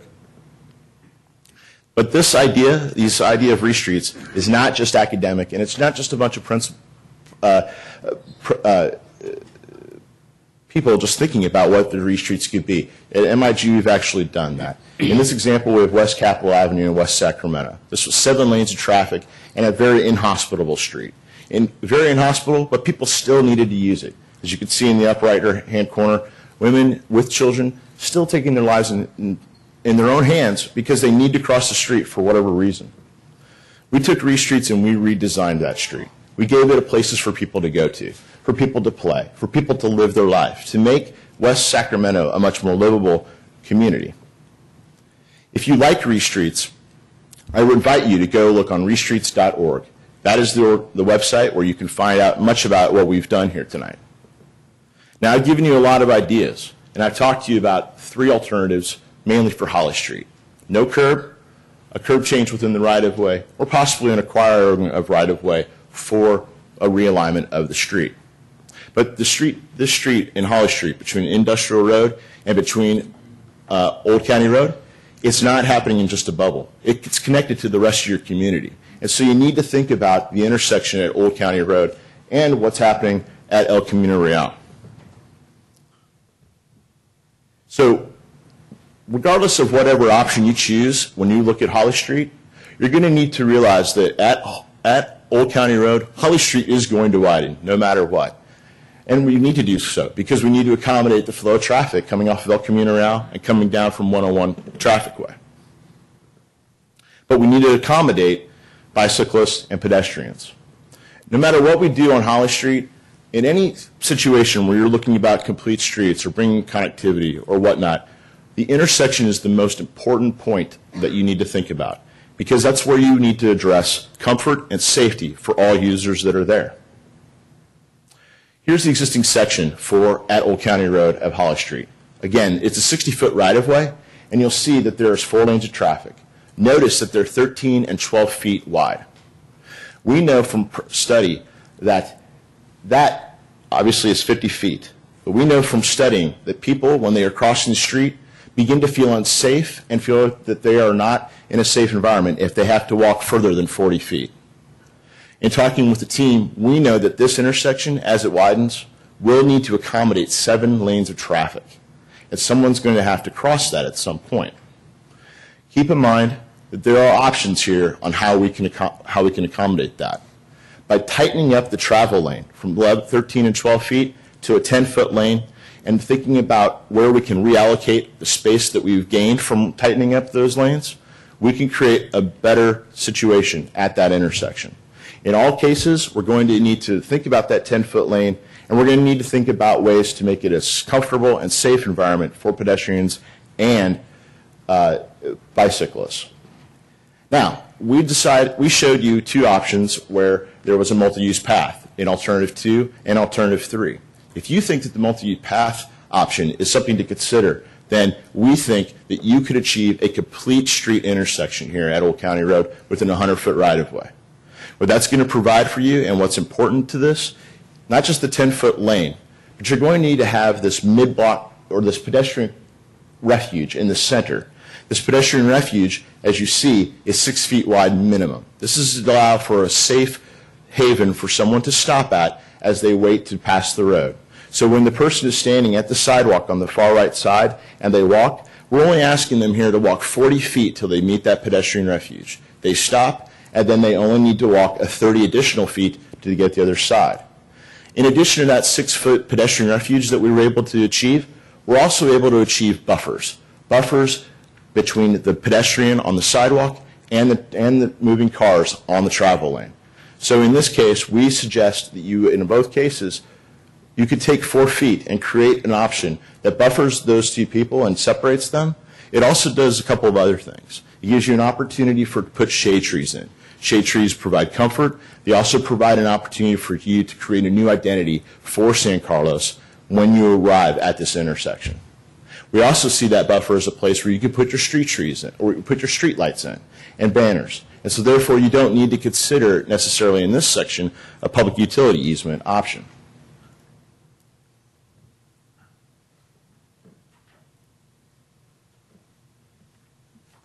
Now, in, in addition to that intersection, we need to think about El Camino Real. In the future, you will have growth. And there is a, a transit village that is coming at San Carlos Transit Village.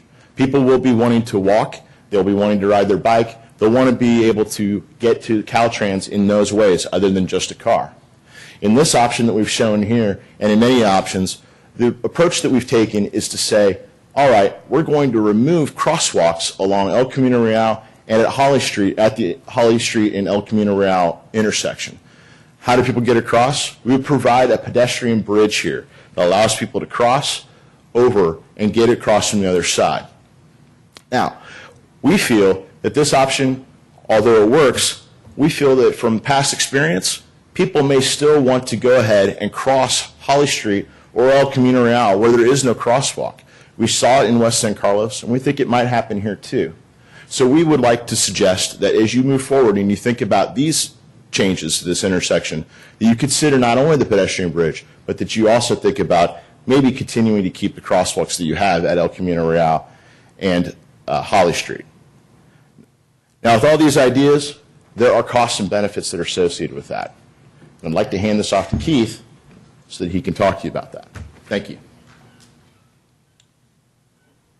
Okay, well, that's a lot to throw at you. I'm sorry, there's so much. It's taken me months to understand what Jeff says, so um, I'm, I'm happy to hear to try and boil it down into a few key parts. Um, Jeff mentioned that the intersections are key. This is, uh, we have uh, limited capacity at the intersections. We have three main ones at Industrial, Old County Road, and El Camino Real, all which are connected without doing any of the improve, major improvements, in other words, leaving Holly Street uh, at the existing situation or existing four lanes, we end up a, with a level of service uh, in the D and E range, which is unstable flow operating capacity. That pretty much is what it is today during peak hours. It just doesn't get any better. It can't get any better because we've not made any substantial improvements.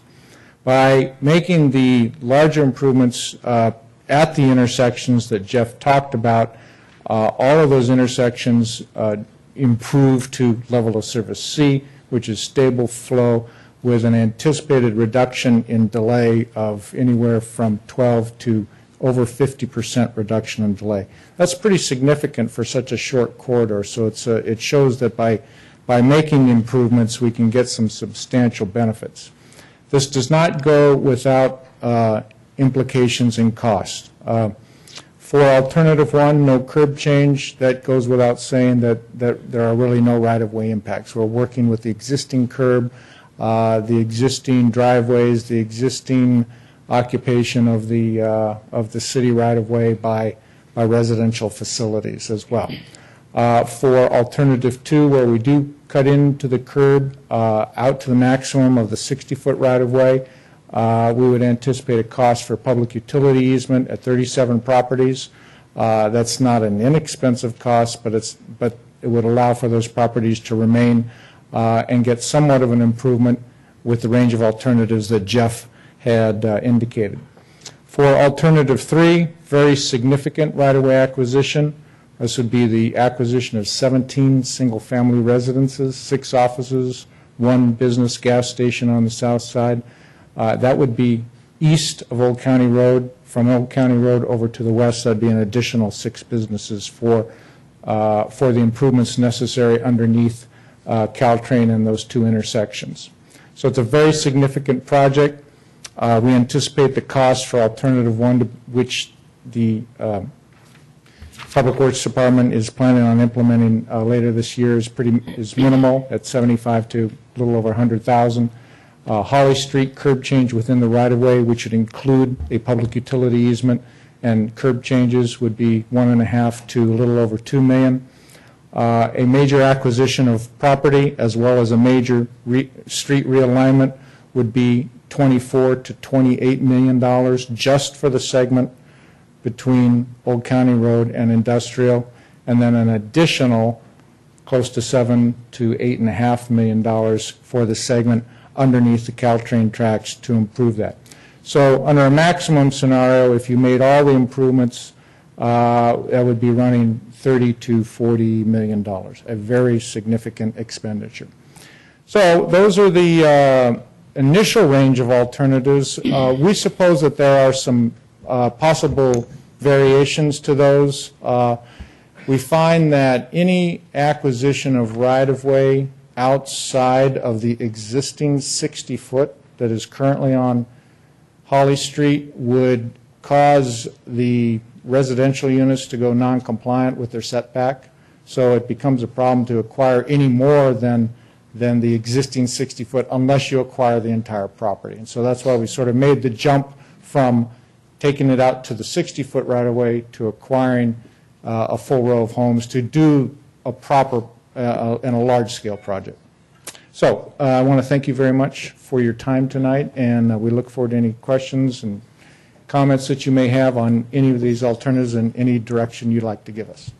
Thank you, Keith. Thank you, Jeff. Um, I can't imagine there are any questions, but on the off chance that there might be a few. Oh, Cameron.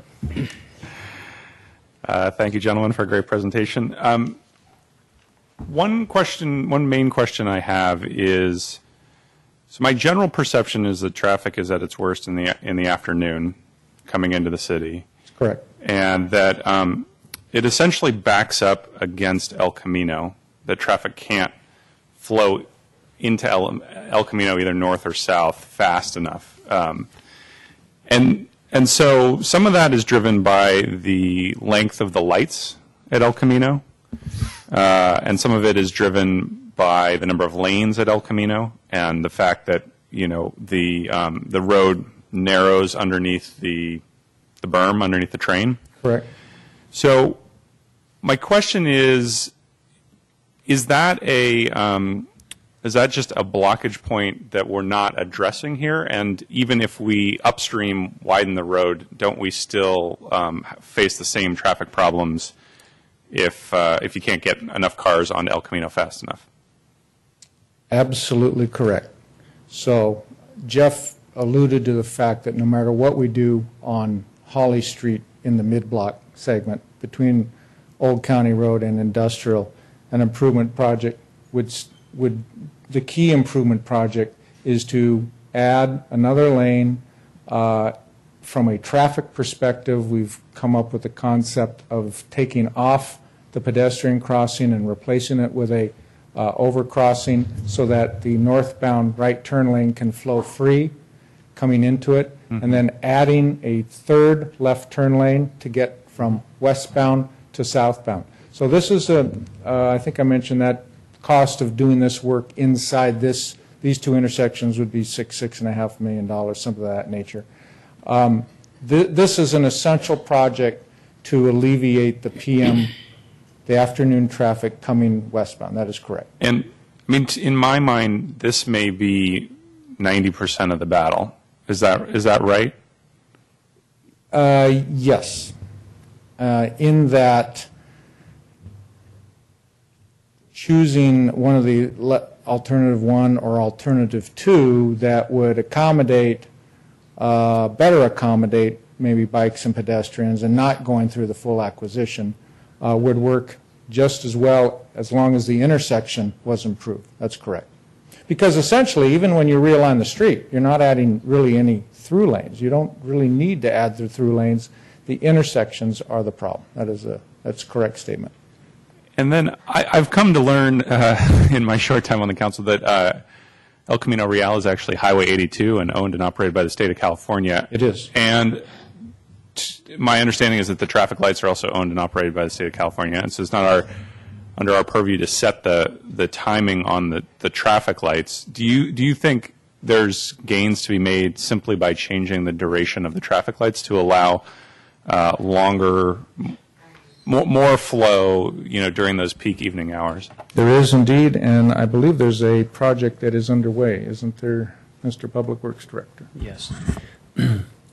Uh, Councilmember Johnson, what, uh, the- what, city staff's been working with a consultant hired through the Metropolitan Transportation Commission. It's called the PASS program, and it's to optimize signal timing. So one of the corridors we had them look at was the uh, industrial Holly, Old County, and El Camino corridor, and to see if we have the timing right to optimize for worst times of day and that kind of thing. And so we should be getting the results of that information back in the next within the next month, and then as long as we don't see any fatal flaws with the, the strategy, then we would be rolling out the, the installation of that new timing to help try to um, alleviate some of those concerns. Okay. And so we control our own destiny there, or is it a matter of having a conversation with the s- We have to have a conversation with Caltrans, Yeah. but they're a co-sponsor of this grant program. Okay. So I think we're, and the consultant has had to work with the Caltrans engineers for the timing and other kinds of things right now as well. That's great.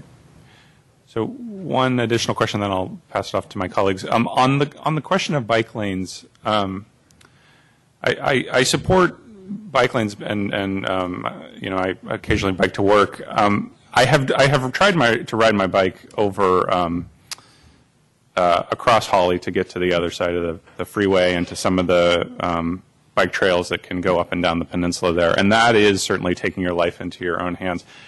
I, I wonder um, what you think about the recommendation of bike lanes just simply on this corridor with then no is it seems to me that if we were to entertain bike lanes along Holly that we would want to have a connection over the freeway because that to me is I mean it's it's very very dangerous to try and get through that cloverleaf on a bicycle. Um, and so I wondered how you thought about that and would it be wise to implement bike lanes unless there was some uh, option to do that, and is it even feasible to put a bike lane through a kind of cloverleaf um, on and off ramp? The answer is yes to all of that. Uh, As you, as you may recall, I got to get back to my, sorry. There we go. Um, If you recall our discussion from September, we are looking at a couple of alternatives of crossing Highway 101 with a separate bike facility. I see. One that is either an elevated pedes- uh, pedestrian bike overcrossing immediately to the south of Holly Street, similar to other bike crossings that have, that occur right now in other cities along Highway 101. Uh, Very similar to one we designed up at Broadway and uh, 101 in uh, Millbrae.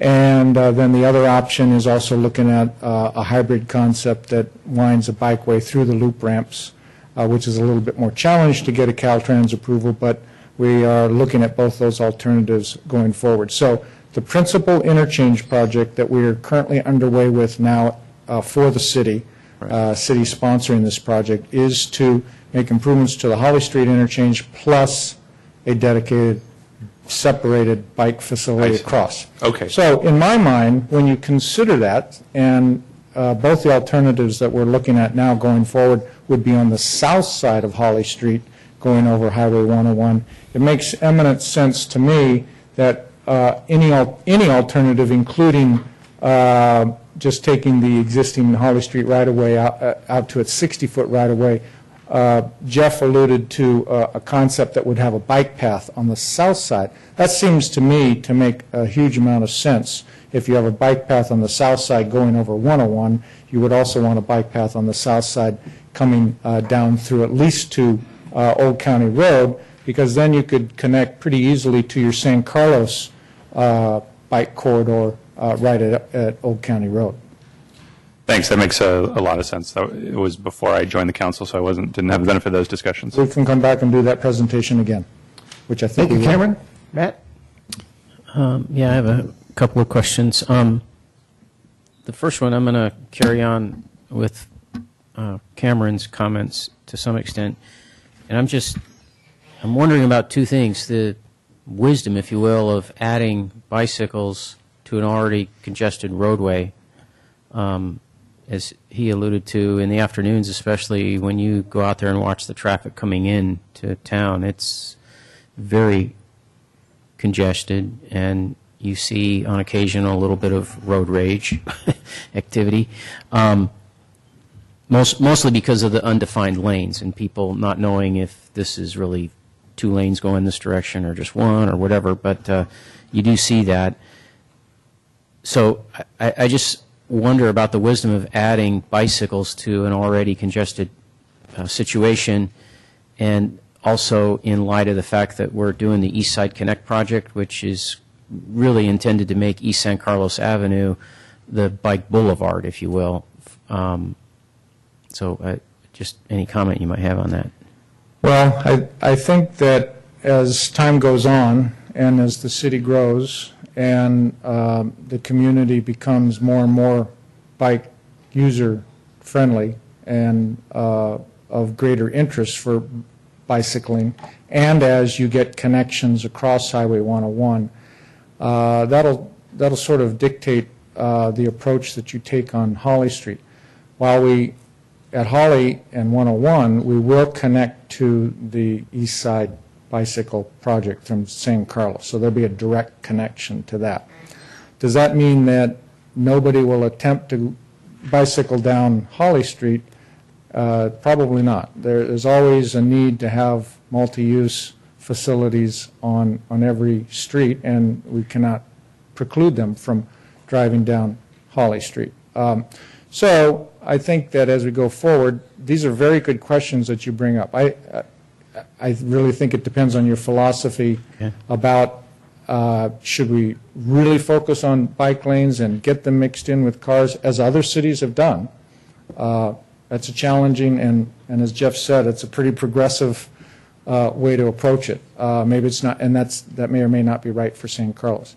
Uh, More of a dedicated bike path on the south side that gets bicyclists outside of the traffic lane, uh, particularly when we're trying to build other bike facilities, might be a better choice. But that's what we want to go out to the public and get those comments as well as, as your comments. It's a very, it's a very good point that you bring up. Okay.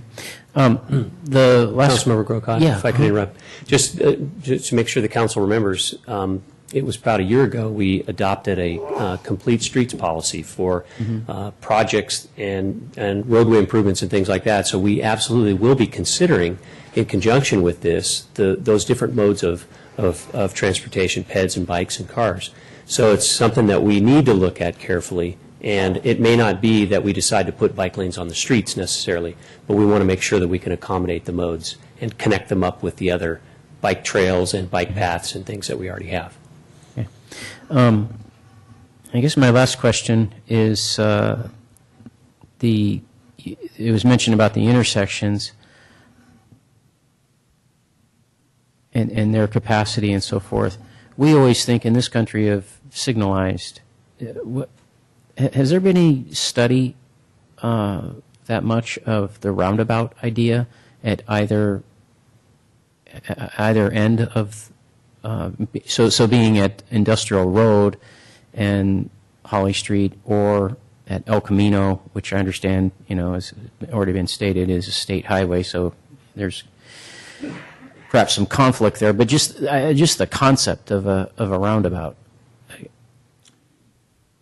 We have not looked at the roundabout at, at this particular intersection. Uh, The issue at, at at least these three main intersections is a roundabout has a certain amount of uh, capacity that it can handle for, for any given movement.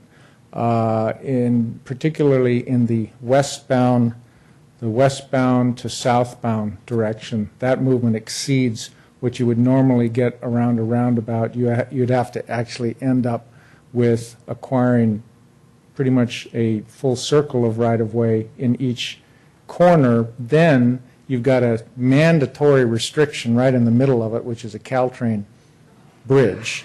So it, it forces you to squeeze down, and so it's a very tight uh, set of intersections to attempt to do a roundabout. Uh, It would be innovative. Uh, There's probably a little bit more room at the uh, junction of industrial to do that. You still have to acquire a right-of-way to do it.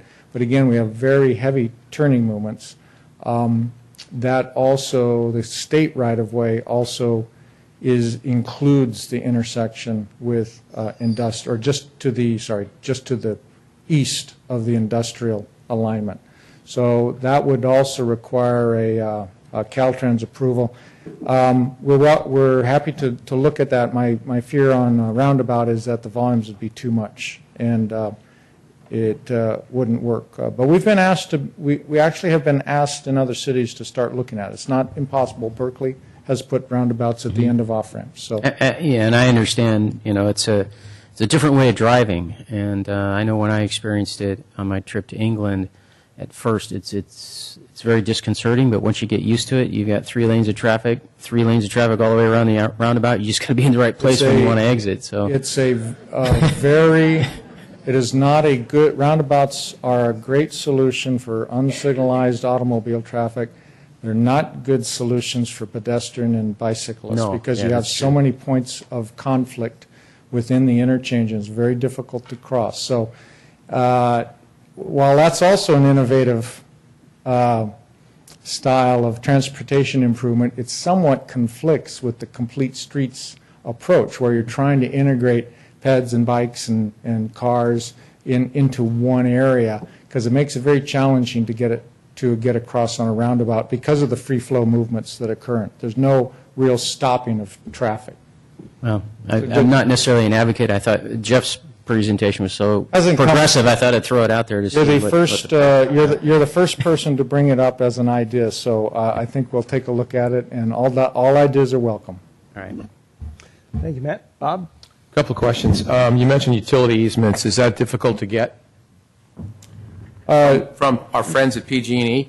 Uh, It's the other way around. It's the, it's acquiring the easement from the property owner and relocating the utilities into that easement. So it's a matter of property acquisition and relocation. Uh, We have uh, relocated and undergrounded streetlights and, power lines in a number of communities, particularly in Menlo Park and Ivy Drive and Okay. a very You successful. don't have It's to go it's on. not, it's You- not too, it's not, it's Shorter not answer too is better for difficult me. when we're asking you, it's a A shorter cost. answer is much better for me. It's a Okay? cost, it's a cost. Okay, it's a cost, all right, fine. Shorter is better, really, because we've got a lot of items to cover Got it. tonight. Okay? Um, You said level of service, you had level of service up there? Yes. And the screen you sh- you showed said uh, it would be D and E. Correct. But I I thought I heard you say that it's about that now. It is about that So now. what's the difference? They- Because they're constrained by the intersection. No, but if it's going to be the same, Well, this is without improvement. I understand that, but you So- said right now it's there. It's not going to get worse. That's what you're implying. That is correct. Okay, so it's not going to go to F. No, because the constraints are, are at, Okay, due I'm to just- the spacing. Just asking, so the D, D, D, E, D, D In 2038, will be the same. Going to look pretty much the same as it Okay, does today. So, I mean, it's not going to get worse. Correct. Which is sort of crazy, because like, it's got to get worse, because you just said there's going to be a ton more traffic, but that's okay. Uh, South side bike lanes. Uh, Are you indicating that, and maybe I misunderstood, that the traffic, would the bikes would go both ways on that? Yes. Okay.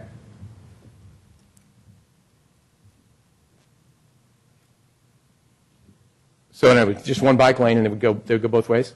Two-way. Two-way bike, okay. And if you could go back to uh, the screen that you just had up there, maybe the next one? Maybe the next one? There you go. Uh, We've indicated, right now, there's two right-hand turn lanes on El Camino Real going north. So I don't think there's going to be one. There, we've analyzed uh, going to one and dropping, the- the the constraint there is the pedestrian crossing. So in order to go to one free, free flow lane, Uh-huh. free turn lane, uh, this would require construction of that pedestrian overcrossing. Right. So That you don't have that. Right, I understand. So I'm just saying, right now, the council's already discussed if, if and when anything's built at the Transit Village, that we felt that there should be two right-hand turn lanes, not one. There's currently one, two right turn lanes right now. That's Those right exactly turn- what I'm saying. Those right turn lanes are signalized. Exactly what I said, uh-huh.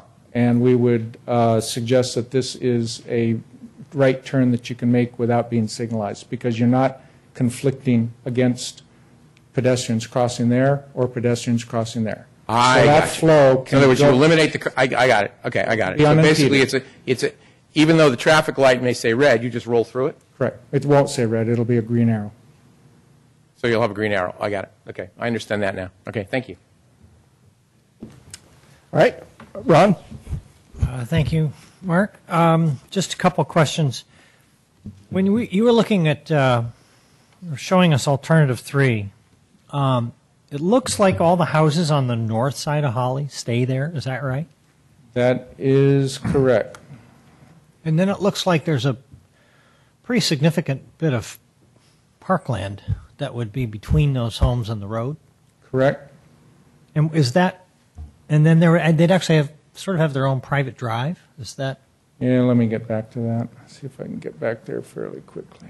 I mean, that's what it seemed like to me. Looked like a, these slides aren't numbered on my thing, so I'm not really, yeah, right there. There we go. All right, so the idea here is that we would acquire uh, and relocate in this very clean alignment, because right now you've got this little bend, sort of with sight distance issue. Right. You'd leave, you'd recreate the existing Holly Street as a private drive with local access and parking on it. Okay. Then you would move the main corridor of traffic uh, for two dedicated lanes and intersection improvements as necessary at, at each intersection.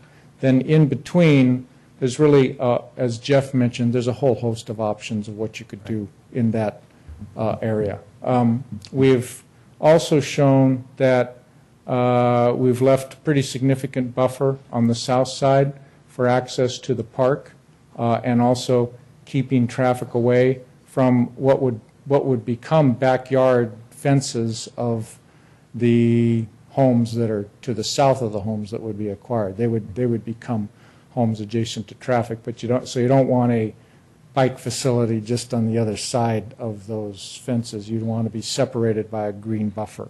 Okay. Um, And then, when I was looking at alternative one, which is, basically, you don't really do anything except, you don't move the curbs, you just make a couple of cosmetic changes. That's correct. And what was a little confusing to me was when you showed the, the results of the traffic. And again, I don't know what, it's not numbered, but, oh, I had it. There's really no it. impact. It shows, well, it showed this big drop in traffic, is that right? If we just do alternative one, or am I, or am I am I No, incorrectly alternative connecting one the would- slides? altern- Any drop of traffic would be associated with the intersection improvements, either at Industrial or, or Old County Road. Uh, Merely, uh, alternative one would not change the traffic level of service or the effects of um, travel along Okay, that's. Holly in, in the mid-block section, correct. All right. Because you had one slide that said benefits and costs, and there's all those green, there's that green shaded area, but right below it says alternative one, no curb change. Those two things are not connected? alternative one doesn't produce any, only when you build out to the large intersection improvements do you get the. Do you get any Level of service change, that's level correct. of service? That's right. All right. Um, All right, I think that has it, and just, yeah, I, I agree on the roundabout, so we, they worked really well in France, but it wasn't much traffic, it was out in the country. Correct. All right, thank you. Can I, can I just follow up and get a point of clarification? So would you, would you mind going to the slide where it shows the benefits? Just, just so I can properly interpret the slide. Sure. Um, It was the one that Ron was alluding to. Keep going.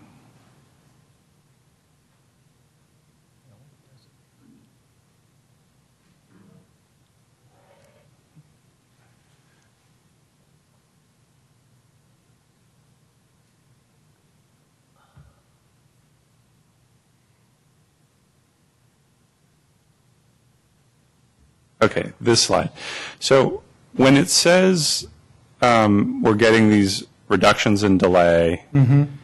are we to interpret that this is consistent with alternative two and alternative three, or any alternative in which we change the El Camino? Um, Any alternative in which you change El Camino or any of the intersections.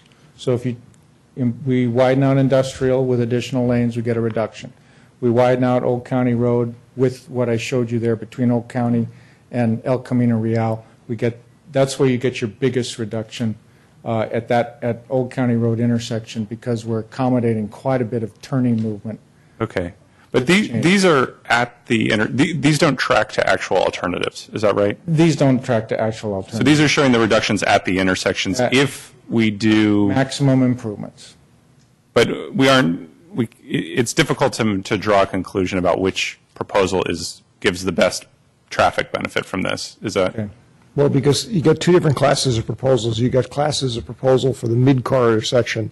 Right. You've got, you've got, you can sort of mix and match them. You've got classes of proposals for the endpoints, the intersections. Mhm. That's only affected by the endpoints. That's correct. So in a sense, the, you, one, in a silly extreme, one could almost argue the alternatives for the midsection are irrelevant. Well, that's kind of what I'm trying to poke on a little bit. Mhm. I mean, it was back to the earlier conversation. So these benefits are maximized by, Intersection improvements. okay. Um, that, that's actually a good segue. I, I had a bunch of questions, but in the interest of time, I'm going to try and limit them. Um, Jeff, I, I uh, Jeff Maltbie, sorry, since we have several Jeffs involved here. Um, my feeling is uh, this is great. I actually liked some of the out of the box thinking about what Holly Street could look like, um, but I feel like we've we've lost the the goal of this process, at least in my mind. And he- here's what I mean. Um, initially, when I recall the discussions the council had, this was driven by, I'm putting this very simply, how do we get more cars through that corridor, that choke point? And I think what I'm hearing now from Keith is that actually the corridor itself is not the choke point. That's not the thing that's the rate limiting factor. It's, it's the intersections. That's Um, true. The two on the Always west is. side and the, and the one on the east. So uh, I would almost say that I, personally, I'd like to see the analysis and the focus of the, the staff efforts recast to say, okay, if we wanted to, uh, what do we need to do to improve throughput here? I'm particularly concerned also about that, the question that Bob asked, which I had the same reaction, is if traffic is going up 40%, but the intersections uh, performance is not degrading, what that tells me is that performance outside of that box that we're studying probably went worse. In other words, th- those extra cars are someplace. That's correct. They're They're- stacking they're back stacked onto El up. Camino or the That is freeway. or- exactly right. Right. S- a- And, and so the, the issue is, again, in my mind, improving throughput. That's what the goal is. The goal isn't per se to uh, do anything to Holly Street. It's just that if doing something to Holly Street improves the throughput, that's what I want to hear. Um, So just make that as kind of a general uh, observation we we can come back to.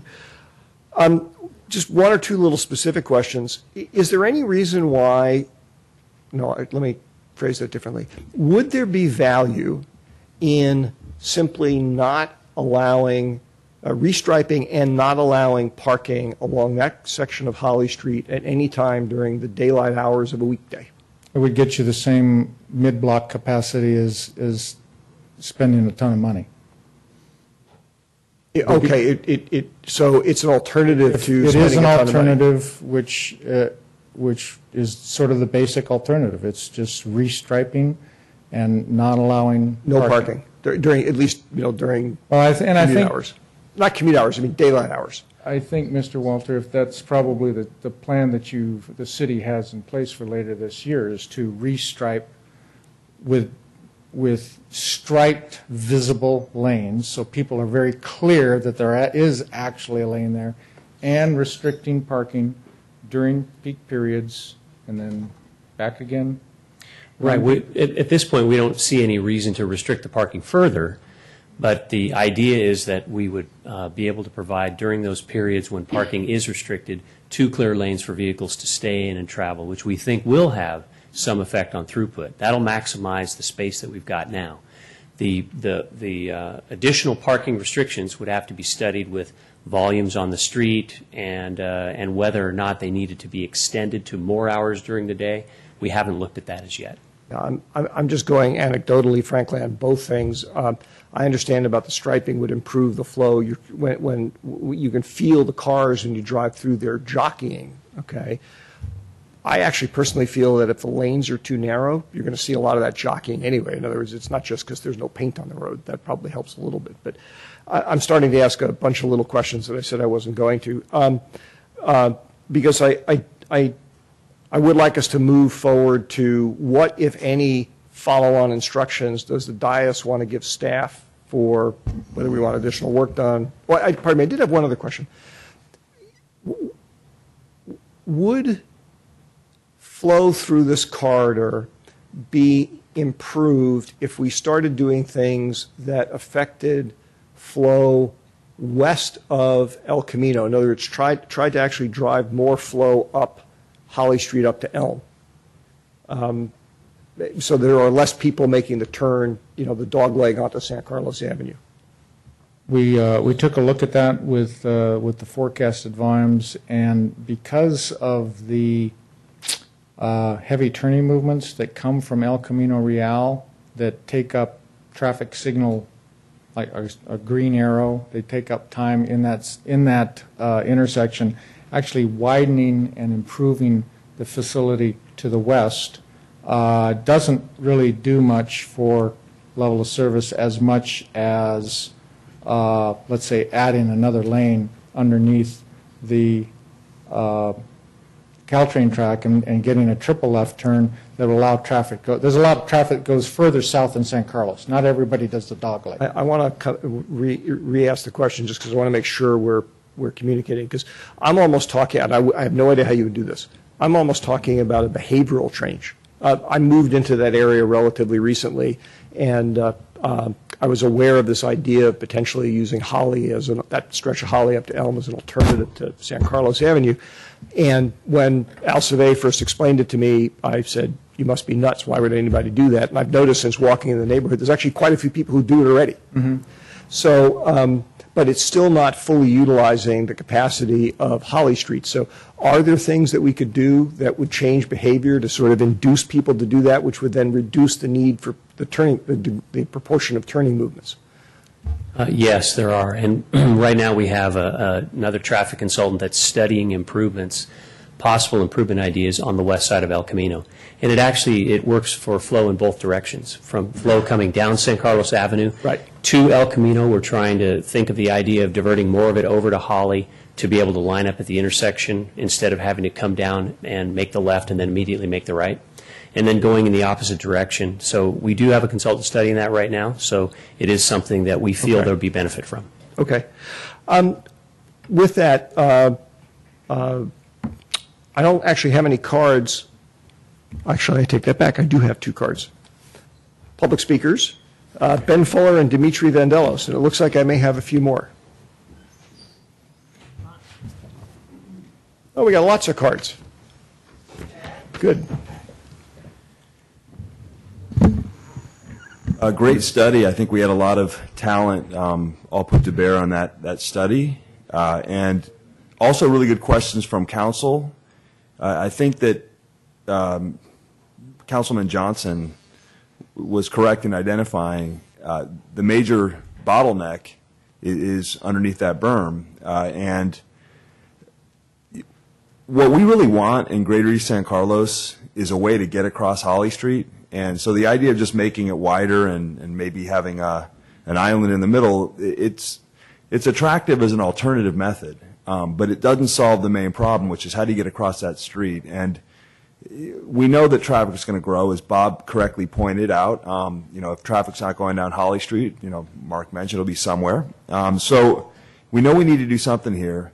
Uh, we have a lot of issues that we have to balance when we look at this. Uh, Ron mentioned parklands; that's one of the issues. But we also have, you know, folks. This is uh, this is low-cost housing in San Carlos. You know, there aren't a lot of places to go if you want to have your own home. Um, we represent Holly Street. We care, you know, we know it's a different situation on there, but we care a lot about, you know, what those folks are doing and and whether they're able to stay in their homes. Where else are they going to go? So it's it's it's crucial to uh, take care of these guys. With that said, you know, there is going to be growth, and so the simple bang for your buck. It sounds like it's six million bucks. And I did that include the uh, the the overpass, or was that just so six million bucks gets us an overpass and gets us additional lanes? I mean, it sounds like the biggest no-brainer in the history of mankind, um, and it still allows us to keep those homes on Holly Street. And um, you know, maybe we won't get all the all the things we wanted, but you know, I, I don't envy the situation all you guys are always in, and yet another example of, of living difficultly. But you know, as Bob always says, you can split the baby maybe, and maybe that's the way to do it. So thanks a lot, guys. Thank you, Ben. Dimitri? Uh, Followed by Bonnie McClure. Hi. Um, A couple of things. Um, I want to question some, uh, one of the key assumptions in, in the study, which uh, talks about 40% growth on the, in traffic on the freeway. Um, If we get 40% growth on 101, that's essentially permanent gridlock. So I'm, I'm not, I'm not sure that that's what we should be planning for. Um, And I, I don't see how that would be sustainable. Um, and um, I, don't, I don't think that's a true uh, rep- uh, representation of, of what we need to do to solve some of our problems. Um, so it's difficult because I mean there's some very interesting ideas that are floated out, um, and some are uh, incredibly painful for uh, quite a number of residents to our community. Um, but you know, clearly, you want to do the simplest thing. Um, so it seems that just restriping for four lanes, keeping things as they are, and uh, doing a, a um, uh, uh, uh, iterative approach. That's what we do in software development. We do iterative approaches. We do a change. We see what, happens. We tweak it. We see what happens. That makes a whole lot more sense than some gigantic plan where we redo things. Uh, I, I, I thought it was humorous that there were seven lanes of traffic in one of those slides. You know, one on eight, you know, maybe, maybe ten.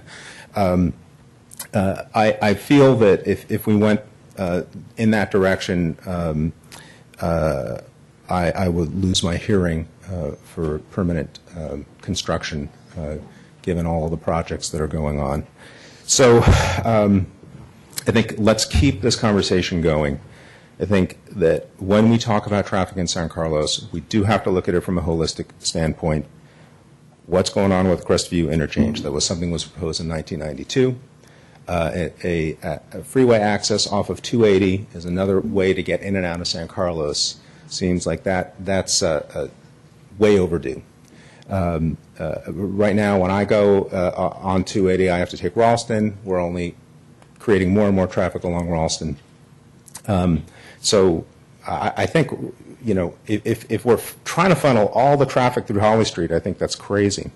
Uh, a couple of other things, mixing bikes and cars. Dimitri, how much more time do you think you need? I'm pretty much, um, just a couple of things. Mixing cars and bike lanes is a really bad idea, frankly. Um, uh, if, if, if we went for this, that gigantic uh, uh, approach, you know, clearly there'd be money to, to have uh, dedicated bike lanes. Um, and, and I think the key thing is, is what you guys have brought up earlier, it's those choke, choke points in the intersections. That's where we really have to focus the study um, and, and, and look at it that way. So, yeah, that, that's what I, uh, all I have to say, but clearly, uh, you know, I'm, I'm, I'm in favor of the small incremental change um, rather than the, the, the, gigantic plan that's going to cost a fortune and displace uh, uh, folks who, who, live in the most affordable section in the community. Thanks. Bonnie McClure, followed by Nancy Zebergs.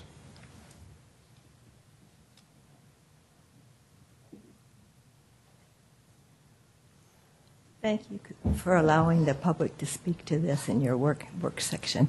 Uh, Bonnie McClure, uh, representing myself.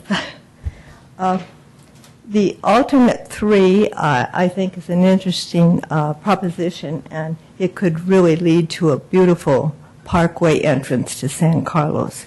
However, I think some, some uh, changes on it could be made. I, I see that there would be a big improvement for the houses on the north side of Holly, having their own parking and access to their houses. And I think that the bike lane uh, on that side of the street could be incorporated into that space instead of be allow, allowing it to go along as the modern complete streets uh, um, attitude is taken. Uh, so buffering the bike lane there. And of course, then the pedestrians would have that nice green space too. It would mean on the south side that the uh, few homes that are there would be lost. I would hope that the city would be generous with trying to find housing for those people, as they should. And um, the thing is that the park there, Loyola Park, that space behind where you would need the the extra space for the rear of the houses would be on the south side, could also be space for the bike lanes and pedestrians through a green space because you could have a linear park extending from Loyola in that space. So I would like to see that examined. And uh, I agree with your remarks, uh, Councilman, that uh, the intersections are important. But I think when you look at the long-term advantage of having a, a beautiful entrance to the San Carlos, that that counts for something too. Partic- but think about buffering those bike lanes and pedestrian lanes. Thank you, Bonnie. Uh, Nancy Zebergs, followed by Rita Fusano, Fusaro.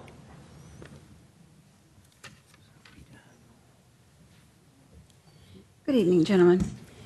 Um, Again, I I appreciate the chance to be able to to speak um, as a resident in the, um, on Springfield Drive right there next to Holly. Um, We have talked about restriping Holly Street um, for a long time, and I think that is an excellent beginning. I've noticed that in uh, several communities, you see a lot of signs that say, you know, be careful of your speeding, it's going to be down. There are more cautionary signs and so forth.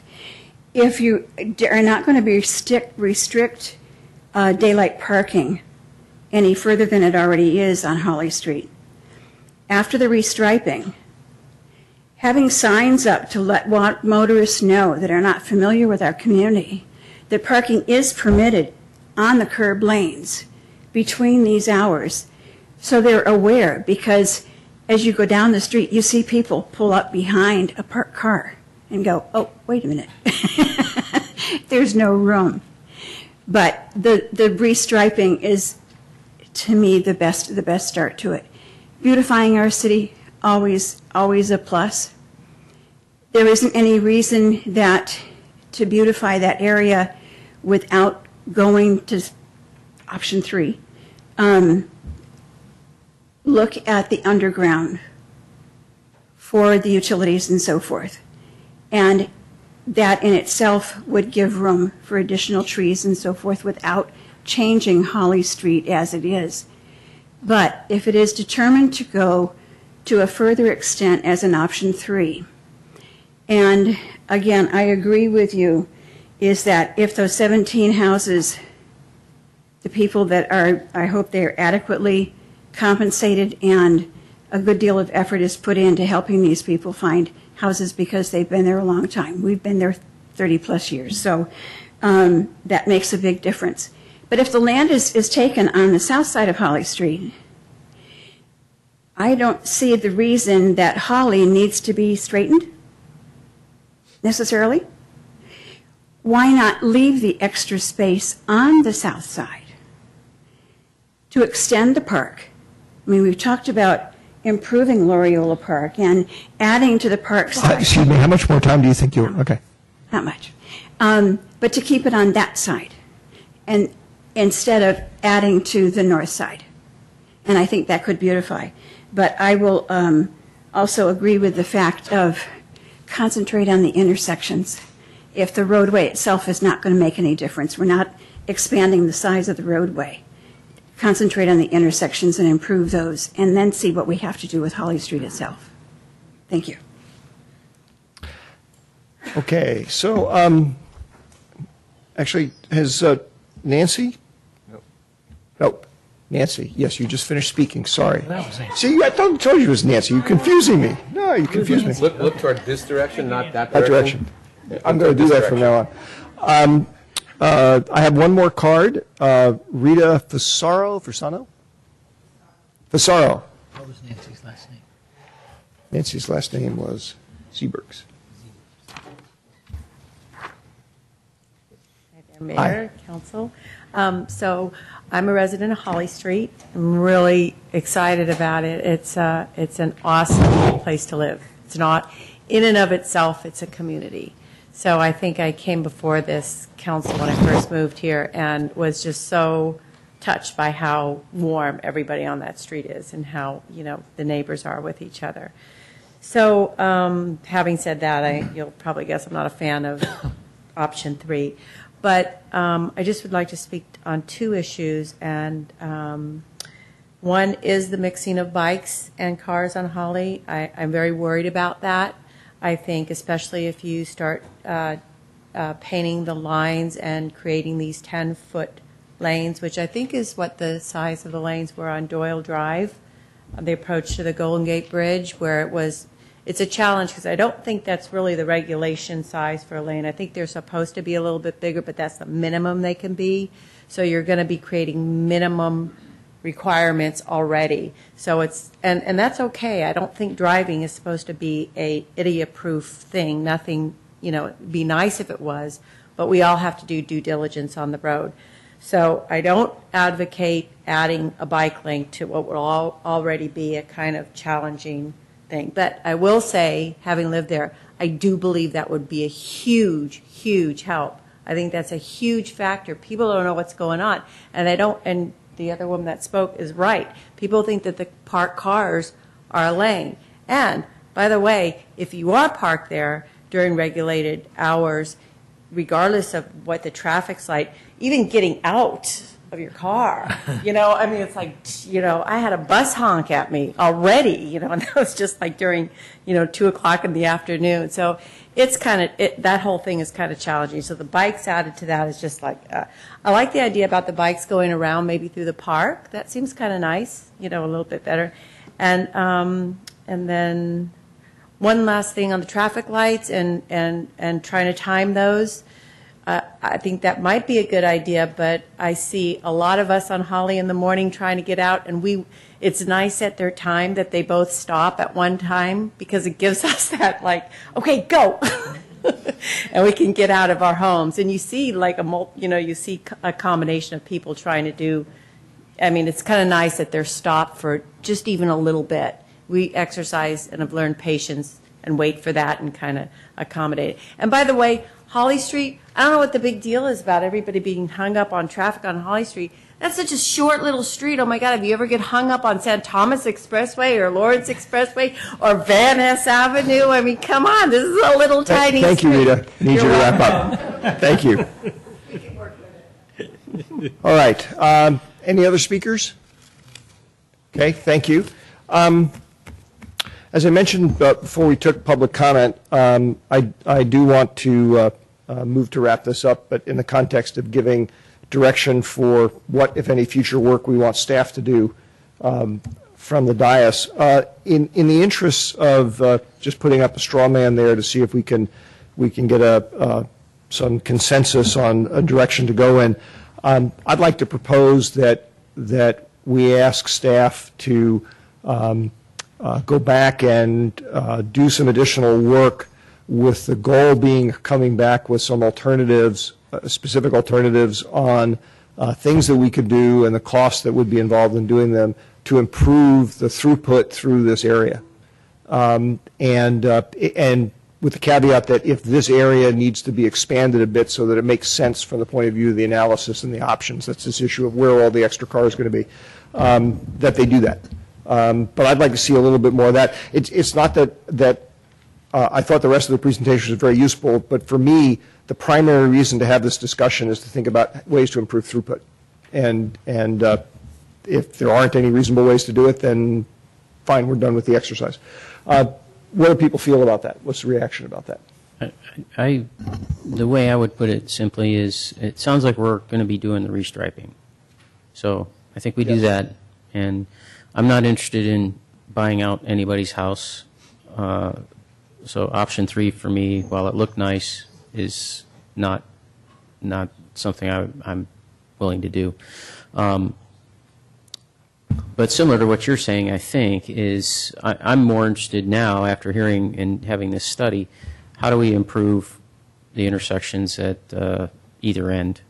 And, uh, you know, it'd be nice to make the street look nicer as part of a project, but otherwise, I, I think the, the emphasis should be, how do you improve the intersections at either end to im- Okay.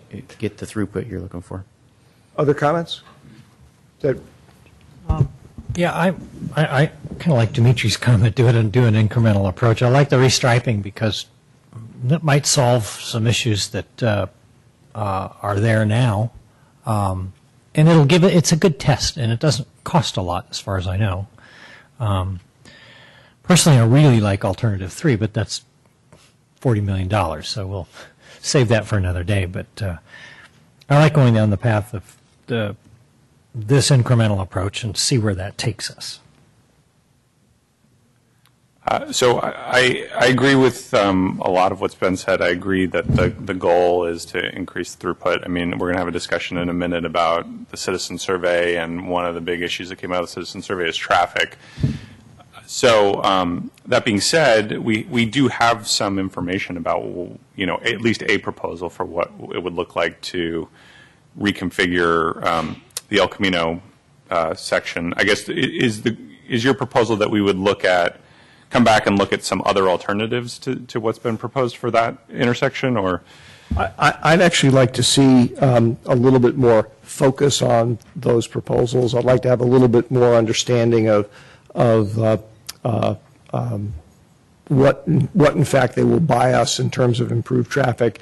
And again, the- one of the biggest things that's lurking in the back of my mind is the issue that Bob and I were, were touching on, which is if, if it's true that we're looking at 40% more cars, where, are they?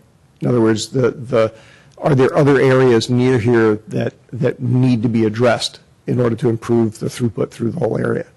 Um, And, and I just, I mean, um, uh, I'm not even sure how much additional work there is relative to what was presented tonight. It might just mostly be repackaging and refocusing it, but I didn't find a lot of this information sufficiently clear that I could say, yeah, okay, that's what I want to do. Other than things like the restriping, which to me are, are almost a no-brainer. And what do you think, I mean, so, so I'm, I'm in agreement with that. I guess the question is, what do you think about um, moving towards looking at feasibility and costing and all of that kind of stuff? Um, Well, I I would, ex- I would expect that to be part of what, what comes back, because, I mean, I, I don't want to just deal with this as an abstract issue. I want to say, okay, Right. so for X that- dollars, I That's my Y concern benefit. is how do we move toward, if we're, if we're moving to the, that we don't, we don't sort of repeat the same conversation, that we move towards something that looks like. Some action. Yeah. Yeah. Yeah, and, and uh, um, uh, I- I'm more than willing to entertain doing bigger things. I mean, um, uh, I have a little bit different perspective than I think Matt offered. Uh, I, I don't want to buy anybody's house if it's not going to make a significant impact on throughput. If it, if it, if that potential is there, and that's one of the things we need to do to improve thru- throughput, and that's, then I'm certainly willing to consider that. Not saying we'd do it, but I'm certainly willing to consider it. But that, that's my focus, is how do we improve the throughput of the traffic? Because, as you said, I, I think that's the thing that everybody's mostly concerned about. Right, exactly. Any other, Bob, do you want to? No, I, I think you ought to start with the basics, just like, I find myself agreeing with Dimitri too many times this year already, but, but. uh, Well, the year's young. You can- Yeah, you can change. we could do the change, but uh, start with that, and then, and- and, you know, and again, you brought up the point, and I guess I missed it, but I certainly got it pounded into me, that we can do nothing and it doesn't make any difference ex- if we don't get those intersections squared away. And unfortunately, you've got Caltrans on one side and, and well, Caltrans on both sides, plus the fact that we're trying to redo the, the cloverleaf. So you've got huge amounts of, I think those are where the two areas that, as you mentioned, we need to go. And I, I tend to agree with Matt that I'm not necessarily, I mean, you'd have to drag me kicking and screaming to take somebody's house, especially unless you can, I mean, you could show me Bs up there instead of Ds, and I don't think you can. So uh, I, I think the, the, the, the intersections are the key, and, and let's try that incremental striping. And, and uh, I don't necessarily think that bikes and cars are going to get along, but I wouldn't be averse to somehow possibly taking some right away. Uh, with uh, public taking some folks right away and making a separate bike lane, possibly. But I think that's the next step, not this step. This step is let's do that the thing and trying to get some intersection information back. Okay. Um, Jeff, is that some sense, you have some sense of what we're trying to ask you to do next? I do. I, th- I think we can uh, take that feedback and uh, prepare some uh, recommendations for the city council moving forward. Great. Very good. Um, Then we will move on to item 10B, or do folks want to take a brief? Do you want to take, you're good? Okay. Um, I, I just saw Bob get up, so I want to. take my coat off, sorry. Yeah, I know, I don't think we paid our cooling I bill. don't think we paid our cooling bill. Yeah. You- Um, in charge of that? Oh, I'm sorry. Are you in charge of the building? So uh, 10B, study session on the Adult Community Center. Christine? Glad I didn't wear a tie.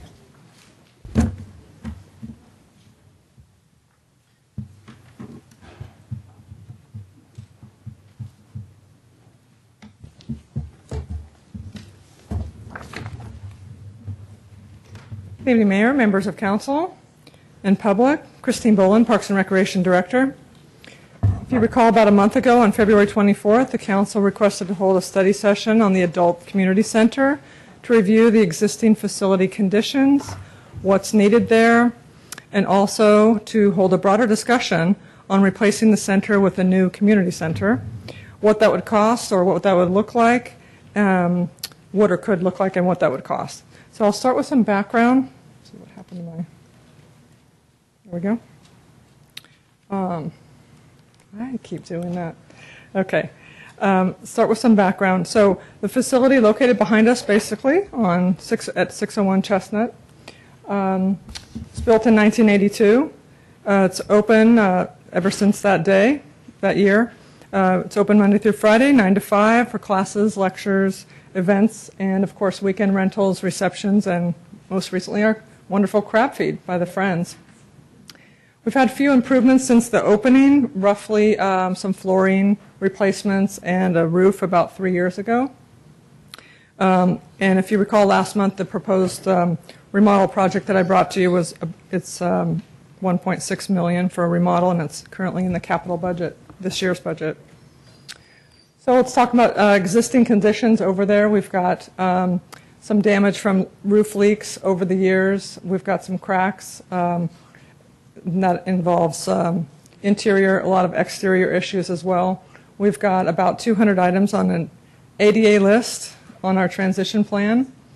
Several um, pretty um, comprehensive mechanical issues with the systems there. And the facility is basically outdated and very worn. Very loved, but very worn. Um, just showing you quickly, I've condensed our, uh, from our civic facilities master plan, about 25 pages down to about four or five slides here. So Parkview room um, issues, leaking in the patio room. Uh, many of these deficiencies are due to a failed roof system years ago, which haven't been addressed yet. Arts and crafts room, this is still there. Uh, broken skylight. As I mentioned, we've got um, ADA issues, Americans with Disabilities Act. We do have a transition plan addressing these items, but it's um, restrooms. Uh, the accessible restroom um, has um, inefficient counter heights and different issues with the commodes. The second floor restroom is not ADA accessible at all. Doorknobs are the wrong type for the building, according to the ADA. And then we've got many issues with um, barriers to travel, accessible travel paths. This is one of the prettier pictures of the building. This is our mechanical room with some uh, issues with the boiler. It's past its useful life. Um, Other HVAC um, items, which are um, pretty much ready to go at any time. So the question you had last month was, what's the most critical issue to, at the ACC today? When on its face we go into the building, it's very inviting, it's very um, warm, cozy, lots of activities going on. And if you boil it down, I would say it's the mechanical system. So it's really the HVAC, the cooling tower, and the boiler, as I just mentioned. So to limp along, um, we need a few bucks in the budget, but um, with the new roof, I would say, you know, the, the building is, it's, it's safe and secure, but it, it's, it's got a lot of, um, needs a little powder and paint, if you will. So there was some talk a couple years ago about a possibly just conceptualizing a new community uh, center. Um, just to fami- familiarize you here with this, this is um, City Hall, parking lot, and library, and um, adult community center on the corner here. This is an apartment building and another adjacent apartment building and City Hall Park. So in this red area here, it's about 89,000 square feet. The um, former Parks and Recreation Director contracted with uh, Nolan Tam in 2012 for a couple concep- conceptual drawings. Um, This uh, conceptual drawing contains um, a new community center, assuming property acquisition, um, underground parking, which is uh, sorely needed in this facility, in this civic center area, and uh, with an aquatics feature. So this material is contained in your packet, and it shows the um, current site, which is Chestnut and San Carlos Avenue, two-story building. Another view, um, I, I'm assuming this is looking west, and an interior showing the lobby with, uh, not calling it an adult community center, but proposing a community center and and aquatics complex and uh, community room. This is an interior um, of the lobby, I'm sorry, the um, second story concept with uh, gym equipment showing a lap pool in the foreground and a kiddie rec pool in the background. Um, Unlike Jay Walters, my presentations are quick, and I don't have the use of a consultant. So you just have me. So in conclusion, the, uh, a new community center would involve a bond issuance, there's no doubt, unless you have a hidden 50 million that I could use. Uh, It's a, it's a ballot measure. Um, It would include property acquisition, of course, the underground parking, aquatics, roughly just you know, a rough estimate, guesstimate, 20 to 60 million. Operating costs I took from our neighboring city, Redwood City, which has a large community center with an aquatics provision. It- They're running about a million dollars annually. And then I also took our adult center currently, which is about um, 350 a year and 350 a year, and I tripled it. So that- that's a very rough estimate, but gives you an indication of what it would cost to, to run a large center. Um, That concludes my presentation. I'm happy to answer uh, questions, and we also have staff from the Adult Center, Anna Kertel and Linda Scannell here. Thank you. Okay. Uh, Questions? Matt? The only question I have is uh, when we're showing the aquatic center and you throwing in the operation cost, is that keep, is that taking into account uh, like, you know, some type of membership fee or anything like that, or are you just thinking, Um, Yeah, I'm, a- I'm sure. Yes, I'm sure. okay, So there would be revenue from the facility, and the, um, I'm sure there's a large contingency of swimmers in the, in the area. Um, Having had a membership at the Pacific Athletic Club a few years ago, there's a lot of swimmers in this area, so I'm sure they would be interested in this type of lap facility. Okay. Um, Bob? Yes, a couple of questions. Um, According to the staff report, one of the alternatives is to proceed with the approved 2012, for- uh, 2014 capital improvement budget calling for remodeling of the existing center. So in the staff report, there's $167,000 for a study uh, for design services. Correct. It's in the budget. And then is the 150,000 to fix the uh, um, um, boiler or whatever, is that in the budget? Or the HVAC, whatever it is? That is not in the budget. Okay, so what is in the budget besides the $167,000? The, um, the $167,000 was to bring on an architect Right. to help us get through a community project process, and similar to the library project. So let me, let me, let me ask, you, Desi- I- it's I guess I'm design. confused. So, of course, that's not unusual. Um, So what we're talking about is bringing on an architect for $167,000 to look at remodeling what we have or to build the new thing? remodeling what we have, and that was last month's proposal. Okay. You wanted to talk about a larger concept, which is great. I think it's uh, worthy of that. But um, last month was bringing, um, bringing the consultant on board, designing the re- remodeled facility. So the facility itself was built 32 years ago. A lot of rooms are too small, too Right. large, too awkward, and so we're envisioning moving a few walls, cleaning the place up. Okay, so- uh, And addressing. So I guess I'm ADA. trying to identify, we bring in this company, they do some proposals. We may or may not do what they propose, but we, we, we brought them in, okay? Mm-hmm. This is council meeting. We don't have the money to fix the mechanical or HVAC, at least it's not in the budget. I'm not saying we don't have the money. What is, and, but then you showed a bunch of pictures that a lot of work needs to be done. So I'm we're sorry. saying we're not going to do any of that work until we get the No, that- proposal? I'm sorry, I misunderstood you. That work would be included in the 1.6.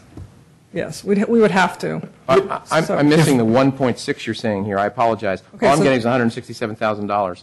If I may, through the mayor? Yes. Yeah.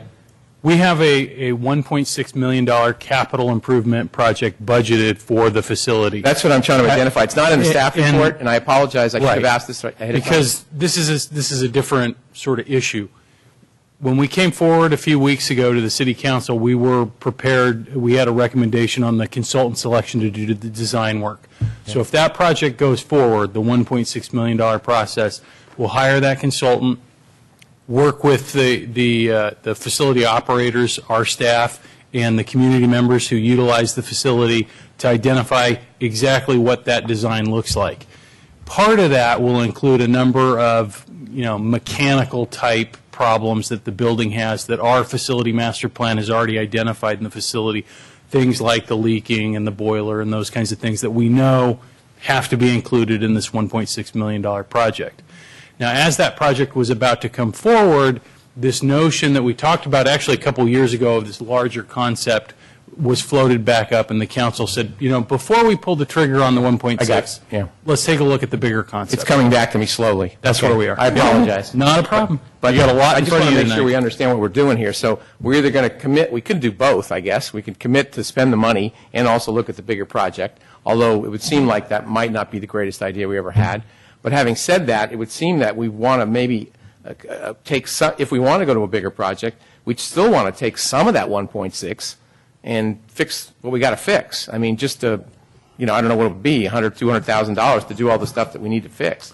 At least not necessarily the mechanical end of it, but certainly the other parts of it. Right, and, and uh, uh, Ms. Boland's presentation pointed out that you would need to spend about $150,000 to triage the building. Okay. If you were, say, planning to go to the voters in a year or two years at the most, you could limp the See that, building I along. see that here, and I just, I misunder, I misunderstood. I thought it was just for the mechanical, and I guess I misread that. So I thought that was just for the mechanical. It's not, it's for the triage of the building. But it doesn't necess, does it necessarily include the mechanical? It does. It does, A and it would just minimum. limp us along. At a minimum, okay. Right. I It's- understand. It's it's just Band-Aid- Band-Aid Band-Aid, okay. fixes until Okay, you I get it. decide, uh, or until the public I voted on a understand. I measure get to it. build a larger Okay. facility. Thank you, sorry for the confusion. Through the chair. Oh, you are. I know, I'm just kidding. Just trying to see if you're awake. Um, The, um, I just want to follow up on that uh, before we move on to other questions. So, because I had interpreted too the $150,000 number as being just the uh, HVAC system, not like the cracked skylight and the the ADA non-compliance and stuff. So the 150,000 really fixes all that stuff?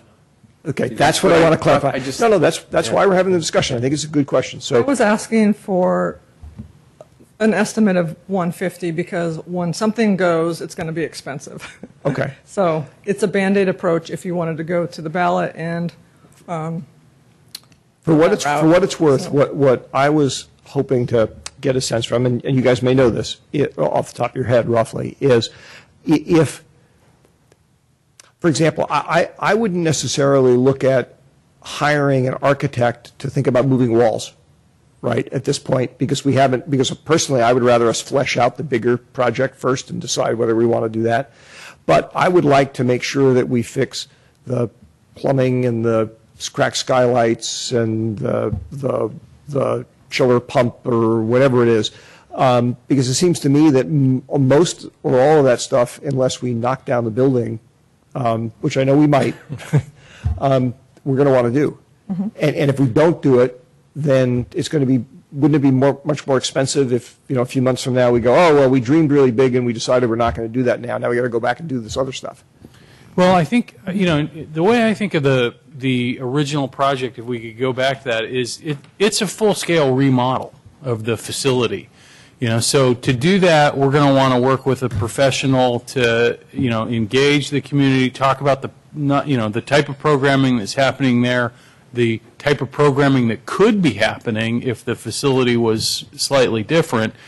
And all that gets incorporated and packaged with, you know, the mechanical, the HVAC, the leaks, those things that are going to need to be corrected. Some of it may naturally be corrected uh, just through the reworking of the facility. Others are going to be specific, like the HVAC system. Uh, And it's, you know, something where I don't think we want to end up with a project where we're putting in an HVAC system and then we're making a significant modification to the building, not the brand-new building, but a, a modification of the existing building that's going to cause you to have to take out that kind of work. So I think, from my perspective, we really need to decide, do we want to invest $1.6 million into this facility, or do we plan on replacing this facility entirely with a brand-new facility? Uh, And if so, how soon? If we're talking 10 or 15 years, then by all means, invest the $1.6 million. If we're talking two or three years, then the investment that you need to plan on making is probably 150,000, may go up to a quarter of a million, you know, if we lose the HVAC system in its entirety, we want to still be able to operate the building comfortably for our customers and our residents. Um, You know, but that's the kind of scale that we see at the staff level in terms of, you know, what we're looking at in the shorter term versus, you know, a longer-term plan. So it's really, do you want the big project or? Yeah, that, that clarifies a bit for me. Ron? I, I just had an idea. Um, I realize 150,000 fixes the HVAC. What, what about some sort of in, interim budget where we would approve X amount of dollars, two, 250,000 or up to 250,000 to take care of, of the things that could go wrong, might go wrong over the next few years while we decide whether or not we can do a big project? That's the 150. That was it. That's just, the hun- I thought that was just the HVAC. I thought. Well, the Or HVAC HVAC, is whatever you call it. limping along right now. Yeah. It could go any day. And when it does, we could spend $150,000 on it just to, just to repair it. And that would not be a long-term fix. Uh, And so we see that money as the triage money for things that could break. All right, so there wouldn't, you you don't believe that there would be much value in budgeting an amount over that for something else that might happen in the interim? I, I think the dollar amount that we're talking about is so small relative to the city, another 100,000, that if we needed it, we would simply come to the city You'd council just come and back ask. to us. Okay. All right. I'm sorry. Or do we- Is it following immediately on that, or, or is it? No, it's okay. Okay. Cameron? Um, Thanks, Christine. Um, The, the presentation feels a little bit like we're replacing the adult, or the, like there's a proposal to replace the adult community center with a pool, but it's not exactly that. Is that right? I mean, is there, a a lot of the functionality that we have in the adult community center today would be carried forward in a new facility? Oh, absolutely, it would be. Can you talk a little bit about that? And is there anything that would be lost um, in the existing functionality of the adult community center that in, in a in a potential new facility? So not, not being here at this time in this position, I'm at a loss um, as to what this all included, and I don't have much of uh, background into what this consultant was thinking back a couple years ago. So I don't imagine um, it would be um, eliminating anything we have now. We have a lot of rooms, programming rooms, uh, banquet rooms. So it would be adding to the facility And um, it's roughly a, uh, you know, two-story, uh, So a way to think about it is, it's, it's augmenting the existing Yes. services that we offer and bringing in new things like an aquatic center. correct. Okay. Correct. Thanks. Okay. Matt? I guess I'm still confused. So um, the, the this idea going, you know, grandiose means the existing building gets torn down. Correct, yes. Oh, and, and so that was going to be. Uh, I, I don't know that we can make this kind of discussion right now, but uh, I- I, would be curious in looking at or giving direction, I guess, to staff to how, how do you um, do something bigger, including perhaps an aquatic center, but maintaining the existing building, even if it meant gutting the entire thing, but you keep the shell of it. I just, you know, it's an it's anathema to me to think about tearing down a perfectly good building and throwing it in the landfill, which is essentially what you're doing. Um, you know, it's a, it's a very nice structure. It's nice architecture. It's got good bones.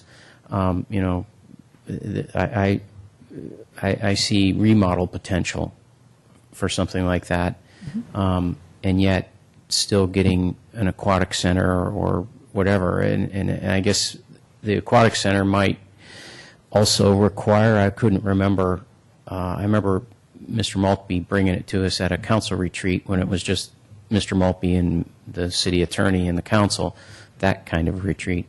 It was brought to us. Um, if that included purchasing some of the properties around, and, and so, uh, you know, if that's the case, then I don't see why, once you can purchase some of those other buildings around, even if it's one or both, why doing a remodel couldn't be a possibility. And then we're not throwing good money after bad if we do the up, the mechanical upgrades. I, I, I'm sort of inclined to go with the direction that I think uh, Mr. Collins was talking about, where we up the amount from 150, which is saying if something breaks, you can spend up to 150. I saw a bunch of things in there that need fixing. They're already broken. So perhaps we up the amount, I guess, when we're looking at the budget this year Mhm. and say, hey, we'll get, you know, we'll try to budget 250 and then you can fix the skylight, you can fix some of these leaks, you can fix the mechanical system. And then my last comment would be this, that if we hire an architect to look at this whole scope, I think one of the things we may find is that your mechanical systems, I know in my business, mechanical systems that you replace are often so antiquated, you actually find space because, like, for instance, a hot water heater, nobody uses them anymore. You use a manifold system, it goes between two by six studs. It's not a lot of space, but you've found something. So, you know, boilers and those kinds of things, I don't know. I don't do the commercial side of things, but there might be something to be had there. Let's, um, I think what I'd like to do is, uh, uh, we'll take the public comment that we have and then have some discussion, think about direction to give to, to staff. Thank you, That's Christine. great, thank you. So um, first up is Patty Brown, followed by Elizabeth Torres.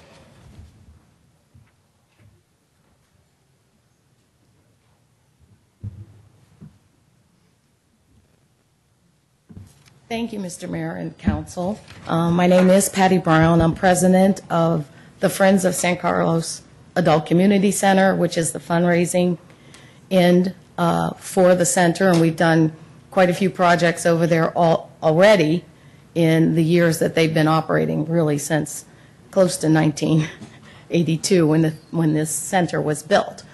And um, I'm here to support a remodel, basically, for, from the Friends and many of the uh, clients that we have today at the center.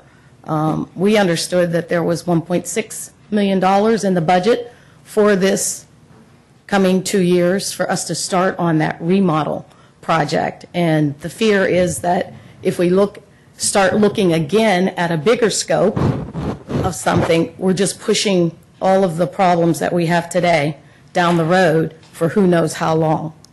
I don't know how long it takes to get a measure on the ballot and to do all those kind of things that you would need to have some big remodel, but I agree with Councilman Grocott and several of the others that the place has good bones and it's in good shape physically and uh, structurally.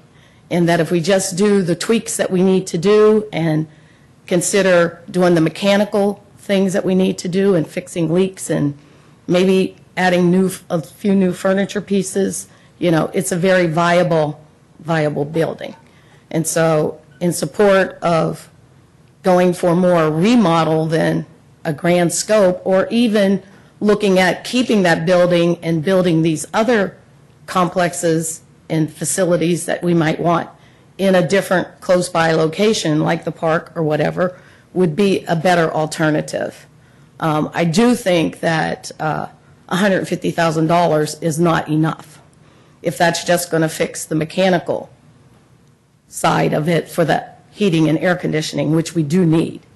And um, so I'm a little confused as to why we talk about 150 and 1.6. And I would like more clarification on that kind of thing. If 1.6 is already in the building, in the budget, I'm like, let's go. And, and get that done. So, thank you. Thank you, Patty. Um, Next, as I mentioned, is Elizabeth Torres, followed by James Peters. San Carlos is my town. I've lived here over 50 years. And I know it's not very much, but we have put over $17,000 into that facility. Uh, also, we put ourselves in. My husband was president of Friends. I am at the moment a cashier. And I must commend these two ladies who run that place. They've been the best since we've had an adult center. They are marvelous. And so I would like to see the improvements. Hopefully, the center won't be closed too long because we need to get back there. Thank you. Thank you, Elizabeth. And uh, James Peters. Oh, he left the room. Uh, Do we know if he's coming back? Okay. Uh, We'll, we'll have him address the council after uh, he returns. Um, Well, the, uh, I think the, the, the question before the council is what direction uh, do we wish to give staff in terms of moving forward? Um, And without trying to limit, you know, the options that, of, on what we could tell them, uh, it sounds to me like it roughly boils down into proceed along with the remodel, the, let me call it the full remodel, um, or do something substantially less, whether it's 150 as recommended by staff or some hi- somewhat higher number uh, that people, uh, in, individual, individuals in the dais have indicated they might support. Um, presumably, that would be accompanied by direction to staff to go off and uh, uh, flesh out the bigger uh, picture option. Um, and I will just mention a personal comment here. I actually thought that, Matt, you had a good point about if we can figure out a way to uh, reuse the, the facility that's there, um, that sure seems like a better idea to me than, than not. Um, so I think that's kind of the range of things. Mr. Peters, you're here. Yes, good. I was, I was stalling for time for you, so. Um, Sorry, Ed.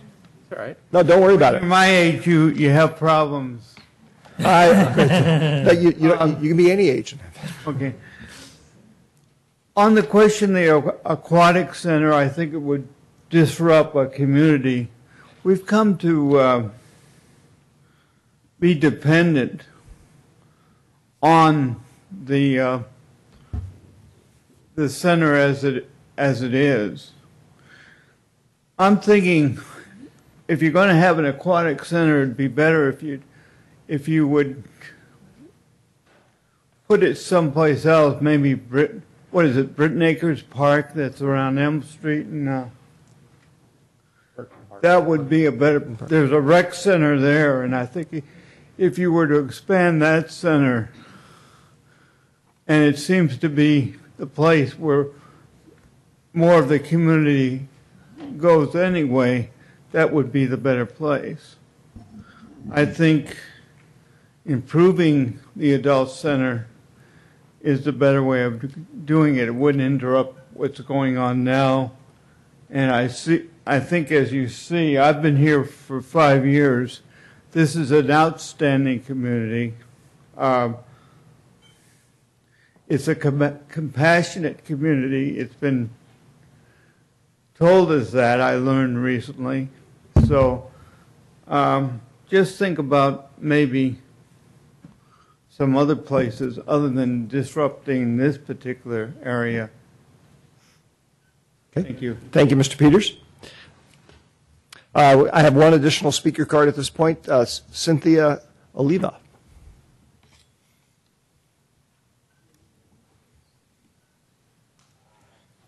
Good evening.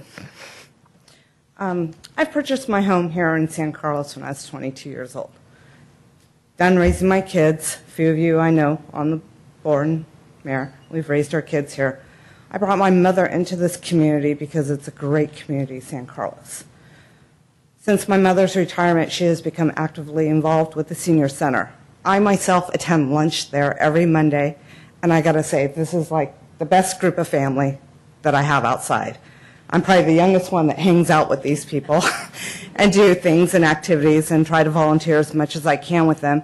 But also, as I get older, I'm looking forward to playing my share of bingo and meeting my friends and people that I've grown with in my community.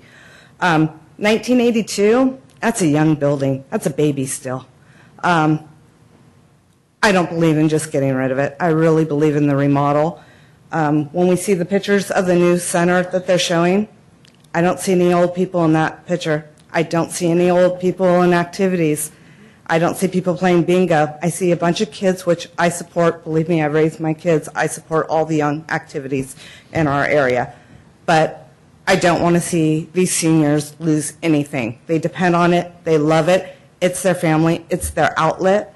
And so many of them look forward and hang out there when it's hot, when it's cold, when they need each other, when somebody's lost their husband or their wife.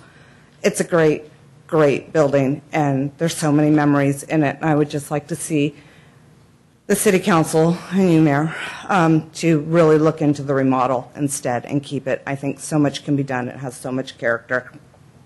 That's it. Thank you. You're welcome. Thank you. Um, All right. Uh, Anybody else want to address the council on this topic? Okay. Um, So I I was, I was just trying to establish a little bit of a frame here for, for uh, um, uh, what direction we give staff going forward. So comments? Matt? Um, There is, as I was listening to you speak earlier, it sounded like it was an option of, you know, hi- go ahead and hire the architect, look at the remodel, and then from there, start doing work, as in, you know, fixing things that are broken, and at the time you're doing that, you're also moving some walls around. But there is another option that architects are used to, which is fast-tracking um, a project, which means you're doing, you, you begin your design work, and then as you're still working on your design work, you, you actually start construction. Um, and the reason you might want to do something like that is so that something like a mechanical system could get worked on and repaired as long as you know you're not uh, doing something, throwing good money after bad. In other words, re- replace a mechanical system and then find out later, oh, w- that's where the toilets are going to be, so we're going to have to move it now. Uh, But fast tracking doesn't, you know, I mean, they, they, they keep that in mind when they fast track. So if we wanted to do something a little quicker, is all I'm saying. You Could could do it that way. yeah. Other comments? I, I just think, and again, you know, Mr. Grocott indicated good money after bad, and I'm, I'm right there. I, I don't ever want to do that. Having said that, however, looking at what's there, some of the pictures that Ms. Boland showed us, I feel like um, we need to fix those things. And I don't know what it costs to fix those things, but hopefully it's not an un, un, unwieldy amount of money. Uh, and I think that's the first thing we have to do. Uh, secondly, um, I would I would probably go along with the uh, we we sent the or we uh, I guess awarded the contract in February, and I would probably concur with that for the remodel uh, at this time. Uh, I don't know about the fast track part of it because I'm not an architect, but uh, I would I would concur with that. So those are the, my two things. But I really think we need to spend. And I, I, know it's somebody might say, well, you're going to spend, you're going to fix something, you're going to move it, and not necessarily a huge amount of movement, but there's got to be some money that's put into that, in my opinion, right now. Hopefully, uh, thousands as opposed to hundreds of thousands to get, get the thing up to, up to, up to speed for the folks that use it. Uh, They deserve that, the whole community deserves it. And, and then proceed again with, as I said, with the, uh, with the remodel as opposed to the larger, uh, uh, larger picture one. Thoughts from this side? Um, You want to go ahead? I was looking at him Sure. first, but. Oh, no, Um, I thought so.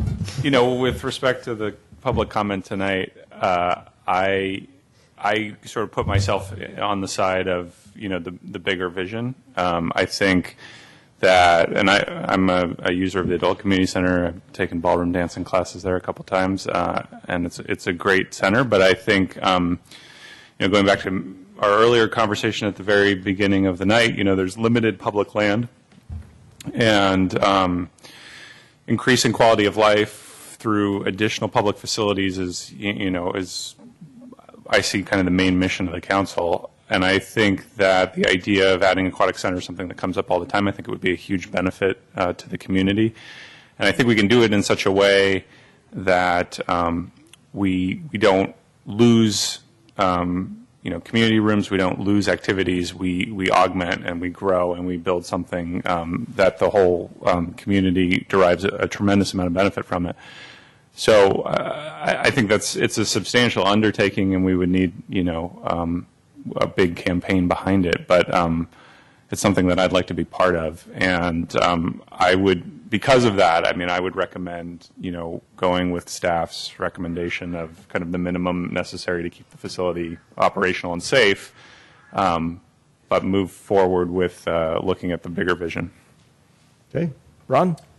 Well, I, I too am a fan of the of the uh, the bigger vision, the, the the community center. But I, I think my problem here is that we've got I have three choices. I'm going to improve 150,000 and fix a boiler, do nothing, or do a full remodel. And that's why I brought it up earlier. Maybe there's a maybe there's another option there that we could have a, a menu of things that we could decide to spend money on. If if we've got a what is it 1.6 million budgeted for this, maybe there are some things in addition to just fixing the boiler that we could do that don't use all that up, that keep the adult center, adult community center viable for an indefinite period of time while we work on this. Because this, the, the a, large community center is admittedly, uh, it's a huge project and it's going to take some time.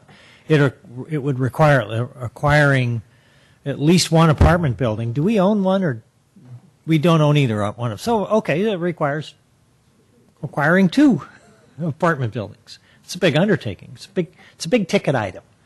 Uh, so I, I would like to have a choice to do some improvements that are more than just fixing the broilers the boilers. Do you have broilers in there too?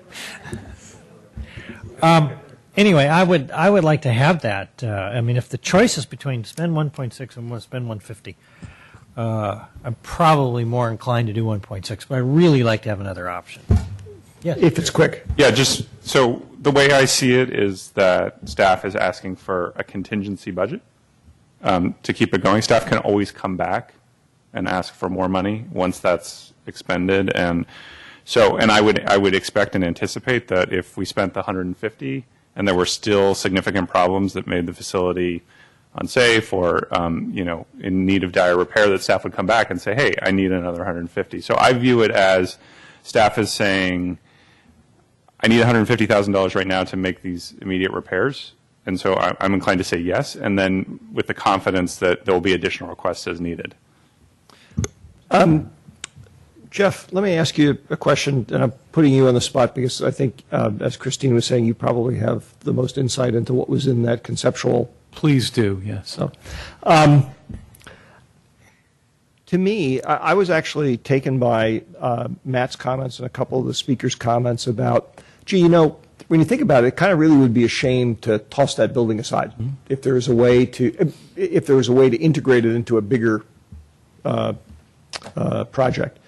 So, do you think that that is that is feasible? It seems to me when I look at the, the, the plot of land we're talking about having to uh, acquire to be able to do the bigger project, that, that being able to build the project around the, the existing senior center remodeled, there's probably some way to do that. It it didn't, doesn't strike me that it's kind of like so integral that it has to get knocked down. Well, yeah, I mean, I would have to agree with you. I'm not an architect, I'm not a designer, but they did build a wall around China, so I'm sure we could find a way to build around the existing ACC. And again, you know, the larger concept is just that. It's, it's a concept. And, and when it was floated, I think one of the things that maybe didn't come through was the idea there is to create a facility that encompasses several different facilities. So you would, in, in these types of facilities, if you're familiar with, you know, the several, there's several community centers throughout the county that have a community center and they have an adult community center and they're connected together, but they're sort of separate wings and they fulfill, you know, very different functions. But, you know, then there's some cross-pollination that happens too. And I think we've gotten that sense um, from our staff and from the community who use the ACC that they have, you know, that there's an evolving vision at the ACC for the types of services and programmings that would be there uh, in the future. So I think you would design it in such a way. Now, whether or not you could design around the building is going to be a question for uh, an architect and an engineer.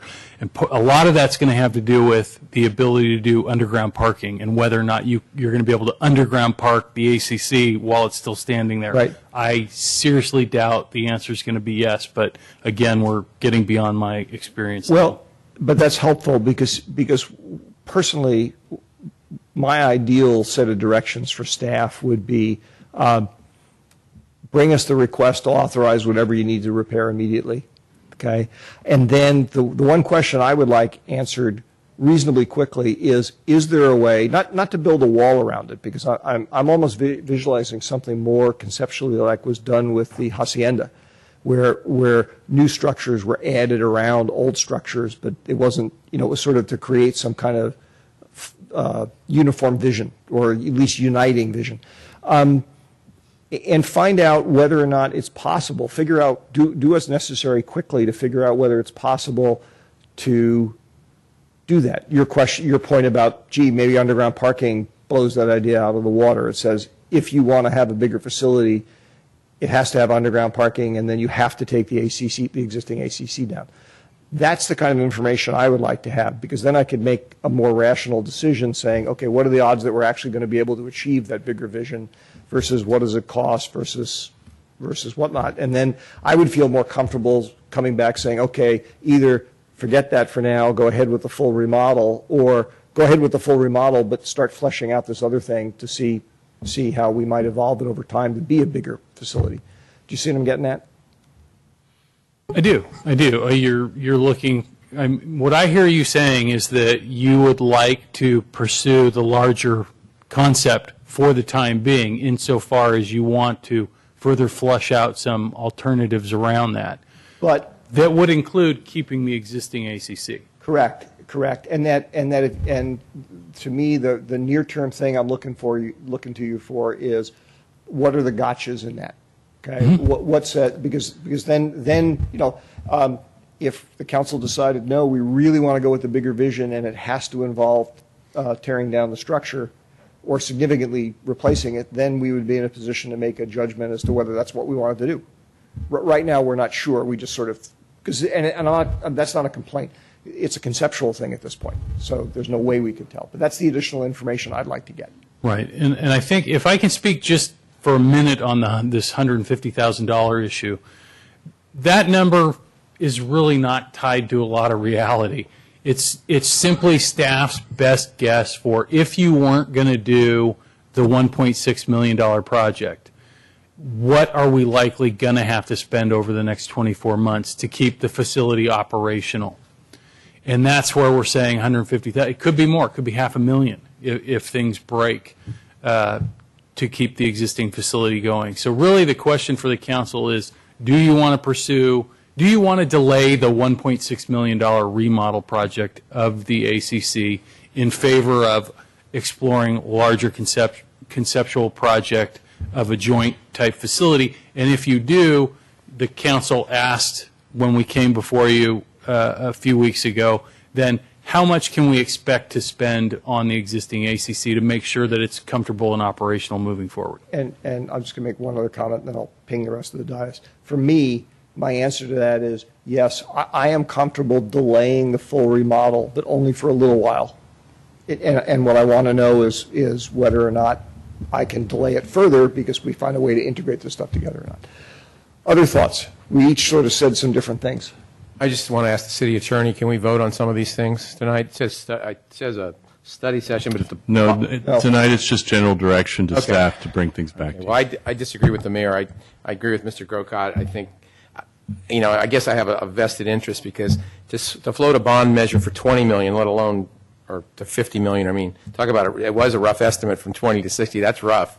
Uh, uh, That's rough. But uh, I think there's other priorities in the, in the city, unfortunately, uh, that we have to work on, and it's under the ground. And that's what I think we have to work on first. So that's why I can't, I can't look at the bigger picture. I'm looking at, let's do the remodel, let's keep that building going so these folks have a place to go. That's my, my, my push. And I'm, I'm just saying, I, I, No, no, no, there's not, a- we can't float a million bond issues. And I'm looking to float a bond issue for the underground sometime before I get off here. I, I think, I think, uh, actually, that sort of helps encapsulate it. I mean, uh, do, maybe the simplest way to do this is to say, is there, who, who wants to give direction to staff to move ahead, coming back with the $1.6 million full remodel right now? You know, we can't vote on it tonight, but that's the direction we want to give staff. Well, that's the direction I want to give. That's what you want to give? Yeah. Matt?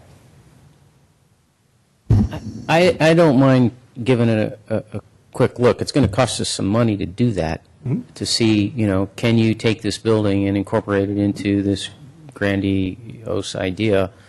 I- You know, I, I think you can. I, I understand the thing about parking, but I, I just think you can. So maybe if it could be done quickly without a lot of extra expense, you- you'd support doing that. Cameron? Uh, I- As I said before, I'm all for um, 100 150. better with Cameron. Wouldn't say it that way, but, um, but yeah, the, uh, I'm, I'm a supporter of the vision, and I think we should move in that direction and allocate the minimum necessary. Okay, fair enough. Ron? Yeah, I, I, well, boy, talk about being on the fence. Um, Time to get I, off. I, I like to know. I, We got 10 more minutes. I, I think I'm I'm falling toward. as much as I really want to see a new adult uh, or a, a new community center, I, I think that probably the wiser thing to do now is go in the direction of the full remodel. Um, we can always study those other things, but in the event that those don't work out, there's community uprising against it or something. We need to have a viable uh, adult community center. So that's the, I would lean, at least in, at, at this point in time, toward giving staff direction to pursue the, the, the full remodel. I- I am, uh, uh, uh, as I explained before, interested in getting a little bit of additional information before I fully commit to the full remodel. So I guess I fall someplace between Matt and Cameron. Um, And I think what that means is that there is uh, the, the view of the dais is we would like staff to do a little bit more work to see if it can flesh out um, a way that you could do, you could conceptualize a bigger thing without jeopardizing the remodeling work. But, um, but it's, it's not a strong consensus, okay, because it's, it's three and two. Yeah, and, and I might characterize it as three, one, and one. Yeah. Um, Well, that's, what- that's, but- that- that's why, no, I But think here's that's what, fair. here's, based on the conversation that we've had, and, it, and it's a good one. I mean, you, I know it says it's dealing with a new issue, and this is a new issue, is always a struggle in the beginning to kind of come up with the process, how to move it forward. So how about we say we bring this back in no more than three months with an, with an action, you know, either plan one, I don't want to, I don't want to try to put one plan ahead of the other, but either we have for you the $1.6 million remodel back on the table and some alternatives about, you know, uh, either this full concept of a joint facility or a way to create a new facility in conjunction with the existing facility, which you would also want to make the decision to move forward with the remodel at that time. So um, you That works you for kind of me. have two, you'll have two remodel options and one big option. Got it. uh, With, with regards to the ACC Um, on this issue. People, everybody okay with that? I like that. All right? Yeah. Sooner the better. Make it so. All right. Um, Let's see, that brings us to, oh, finally, new business. Um, I- I'm going to suggest to my colleagues, since as uh, Bob pointed out, we're at T-minus 10 minutes before we have to go on extension, um, and I want to give the council an opportunity to perhaps uh, push something off to the, to uh, the next meeting or a future meeting. My thought being that the, uh, that would be the uh, satisfaction survey. So I'd like actually to return and take up item 9E off the consent agenda um, make sure we get that addressed, and then deal with the other two items under new business that are short shot clock items. Uh, Everybody okay with that? Yep. Okay, and then we'll separately visit the issue whether we want to, how far we want to extend the meeting. So um, 9E, Matt, I believe you had asked to have that pulled off, so. I did, yeah. um, Do we have, oh, we'll give Jeff a chance to. Okay.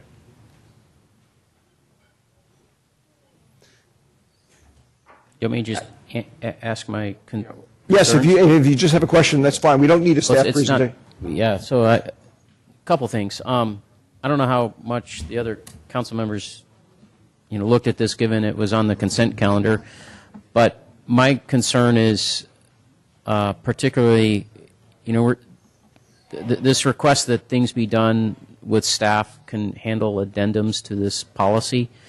That concerns me because these are public records. They're owned by the public.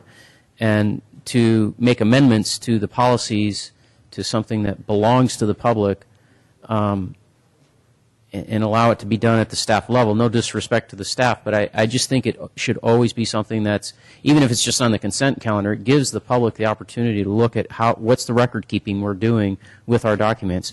And then um, so I don't like that part of the agenda item. And then furthermore, looking at the actual matrix that's given and the uh, items and how long they're to be retained, uh, there were some areas that I was concerned. I don't know if we have the time tonight to dig into those, but um, particularly having to do with council minutes and videos um, and some of the things that the city manager works on. Uh, I- I'm concerned about. And then the last one that I was concerned about is uh, citizen inquiries. It just has it as three years. And I think there needs to be some type of uh, asterisk to that topic because if it's like, for instance, let's take something current, the transit village, and there's a citizen inquiry, that inquiry should stay current and in our records until the transit village, just as an example, is built in the ground and done. Um, and if and if it takes more than three years for that to happen, and some some inquiry is thrown out, uh, and the developer's done something that you know Dimitri was concerned about, but Dimitri's request is thrown away, that's not a good thing. I, I understand. Before we, we have other questions, uh, Mr. Rubens, Greg, would I be correct in assuming that you probably have a role to play in the records retention policy? Yeah, I, um, I worked with staff to review the policy, and, and these updates that are proposed are, um, But let me, I'm sorry, I actually had a question. So, uh, Jeff, I, we need you back. Sorry. Um, uh, the question I was going to ask is, um, uh, is it necessary that we deal with the uh, uh, records retention amendment tonight, or can, uh, uh, sounds like there, there may be, may even be some opportunity for some more offline discussion uh, to take place? Yeah, I do- I don't believe there's anything critical about Okay. that item for tonight's agenda. Okay. Um, We can bring it back. I, I, I- what I'd like to do is, if, if it's okay, is we bring it back, and maybe we'll yeah, put it on the. uh, appreciate that, um, If you have an opportunity to talk to staff, maybe you can resolve where they can change some things, and if not, we'll, we'll put it on the main agenda so that we can discuss it. Um, Okay, so we will table that item. Um, Thank you. And, um, let's see, the joint letter from the city and PG&E on line 147. we're taking things out of order. We- we- Yes, that's okay. Oh, I know, the letter was emailed to us. Good evening, Mr. Mayor, members of the City Council, Jeff Maltbie, City Manager. Uh, As promised, uh, we have a joint letter uh, on the council agenda tonight. Uh, This letter would be sent from uh, PG&E and the city to our residents, their customers, uh, sort of outlining, really, it's mostly forward-focused on how we move forward with Line 147. Uh, There's, I think, from the city's perspective, a lot of information that's not in that letter. Uh, I think from PG&E's perspective, there's probably a lot of information that's not in that letter. Uh, The letter is, in fact, a compromise. Uh, We've gone back and forth with PG&E. Uh, There's been several iterations of this letter, as you uh, might imagine. And these are the areas that we could agree on to, to put in a letter. And I, I don't want to say that there's a lot of outstanding um, issues uh, that aren't in there. There's two. Uh, one dealing with the city's reimbursement uh, for um, uh, the costs associated with line 147. The other, um, the sort of ongoing dispute that, that we've had over the, uh, the operation, operating pressure of the line, where our expert believes that a lower number is appropriate currently for line 147. Uh, PG&E and the CPUC, uh, and more importantly at this point, the CPUC, who's made the ruling that 330 pounds uh, is safe uh, for the operation of that line. We have, uh, in a sense, appealed that decision, which is a rehearing in front of the CPUC. Uh, There's a lot of due process and, and very specific legal nuance to dealing with utilities and the Public Utilities Commission in California, as we have all learned. Uh, This is our attempt to inform the public on how we're moving forward. How we would do that primarily would be for the next several months, uh, PG&E has agreed to, to step up their monitoring program. We have a PG&E representative here this evening who could uh, explain that uh, in more detail than myself in terms of uh, what their plan is.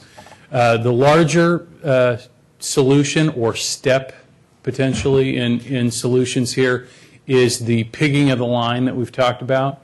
Uh, In order for PG&E to be able to put their probe through the line, a couple of things have to occur. Uh, First, they have to take out a couple of bends in the pipe that the probe just simply can't navigate, so it will get stuck going through, so it's not a piggable line currently.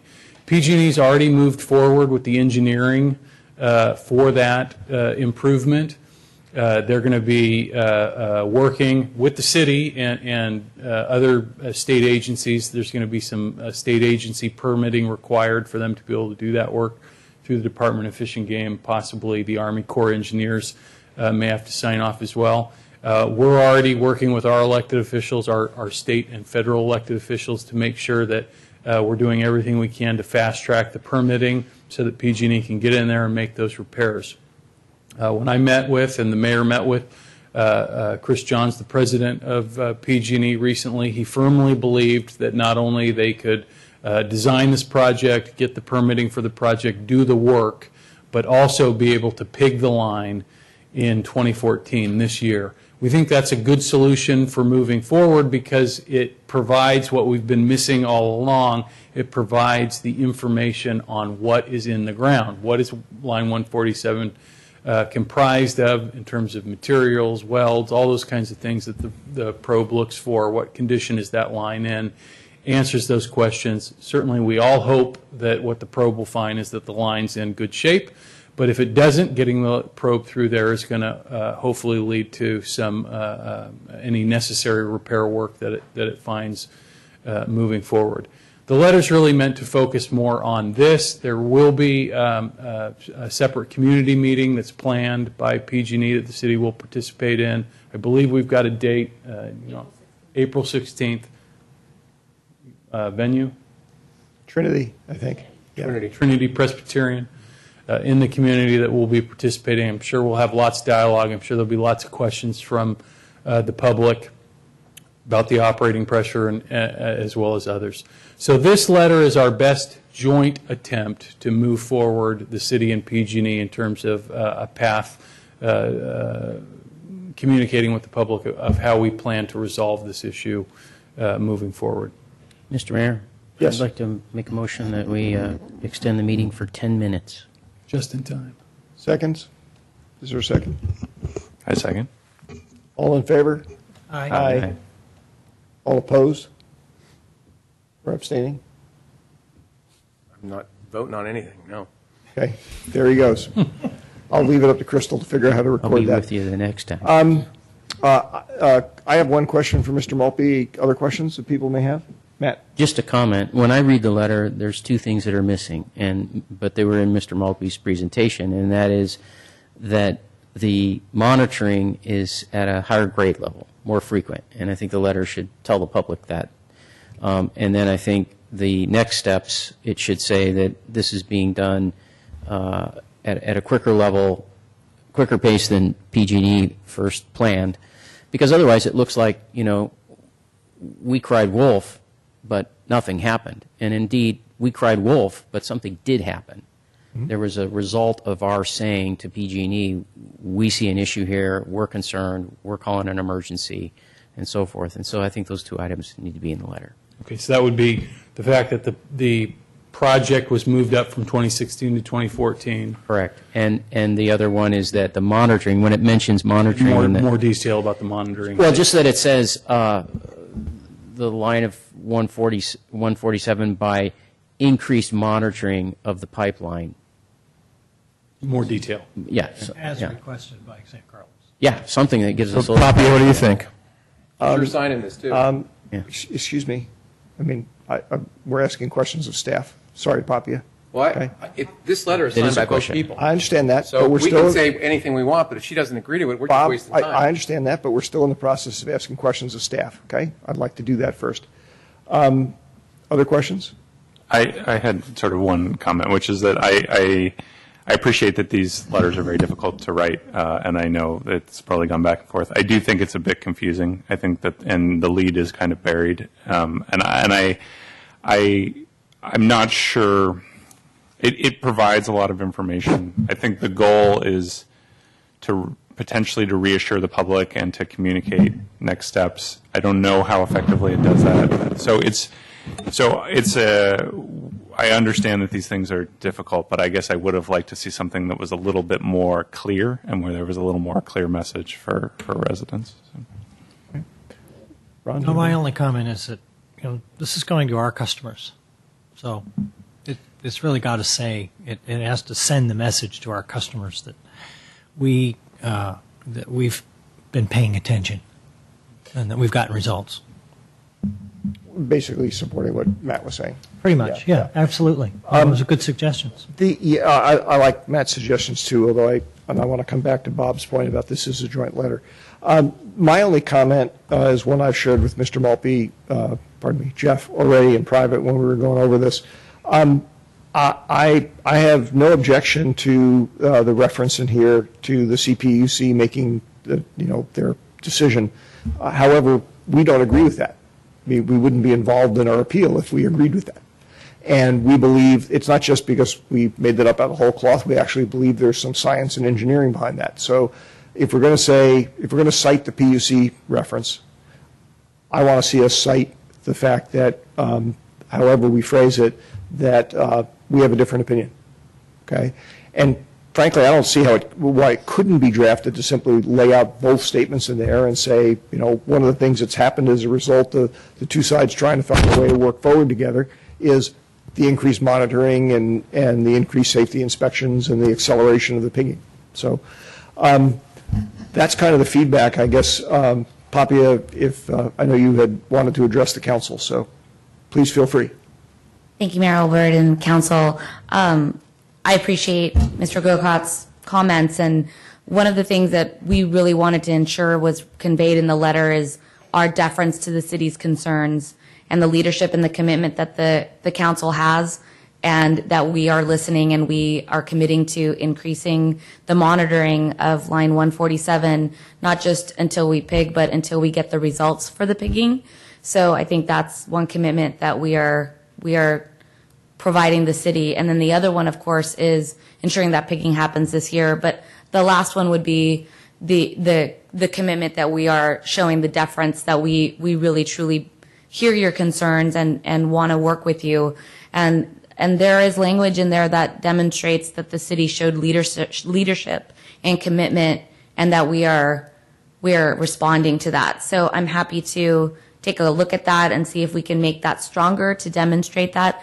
With regards to the monitoring, it, it does talk about the request and that we're, we are adhering to that request um, and that we're doing that throughout the process, um, not just until we actually pig the line, but um, something that the city manager uh, made very clear is that you, you know you want the results, you also want the opportunity to assess those results, um, and we respect that. So that sentiment is also reflected in the letter, and, and that was the intent.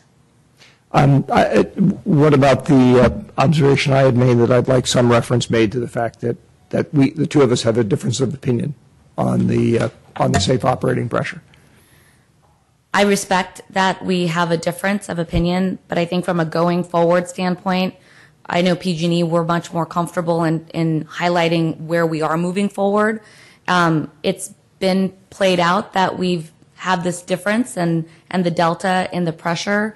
Uh, my preference would be that we communicate that at the open house or we can talk about it more in those settings. But in order to move this forward, uh, we really want to focus on the pigging that those activities and then working with the city on the assessment. If, if we're going to focus on moving forward, uh, what do you think about simply eliminating that paragraph citing what the California PUC did and not referencing that we have a difference of opinion?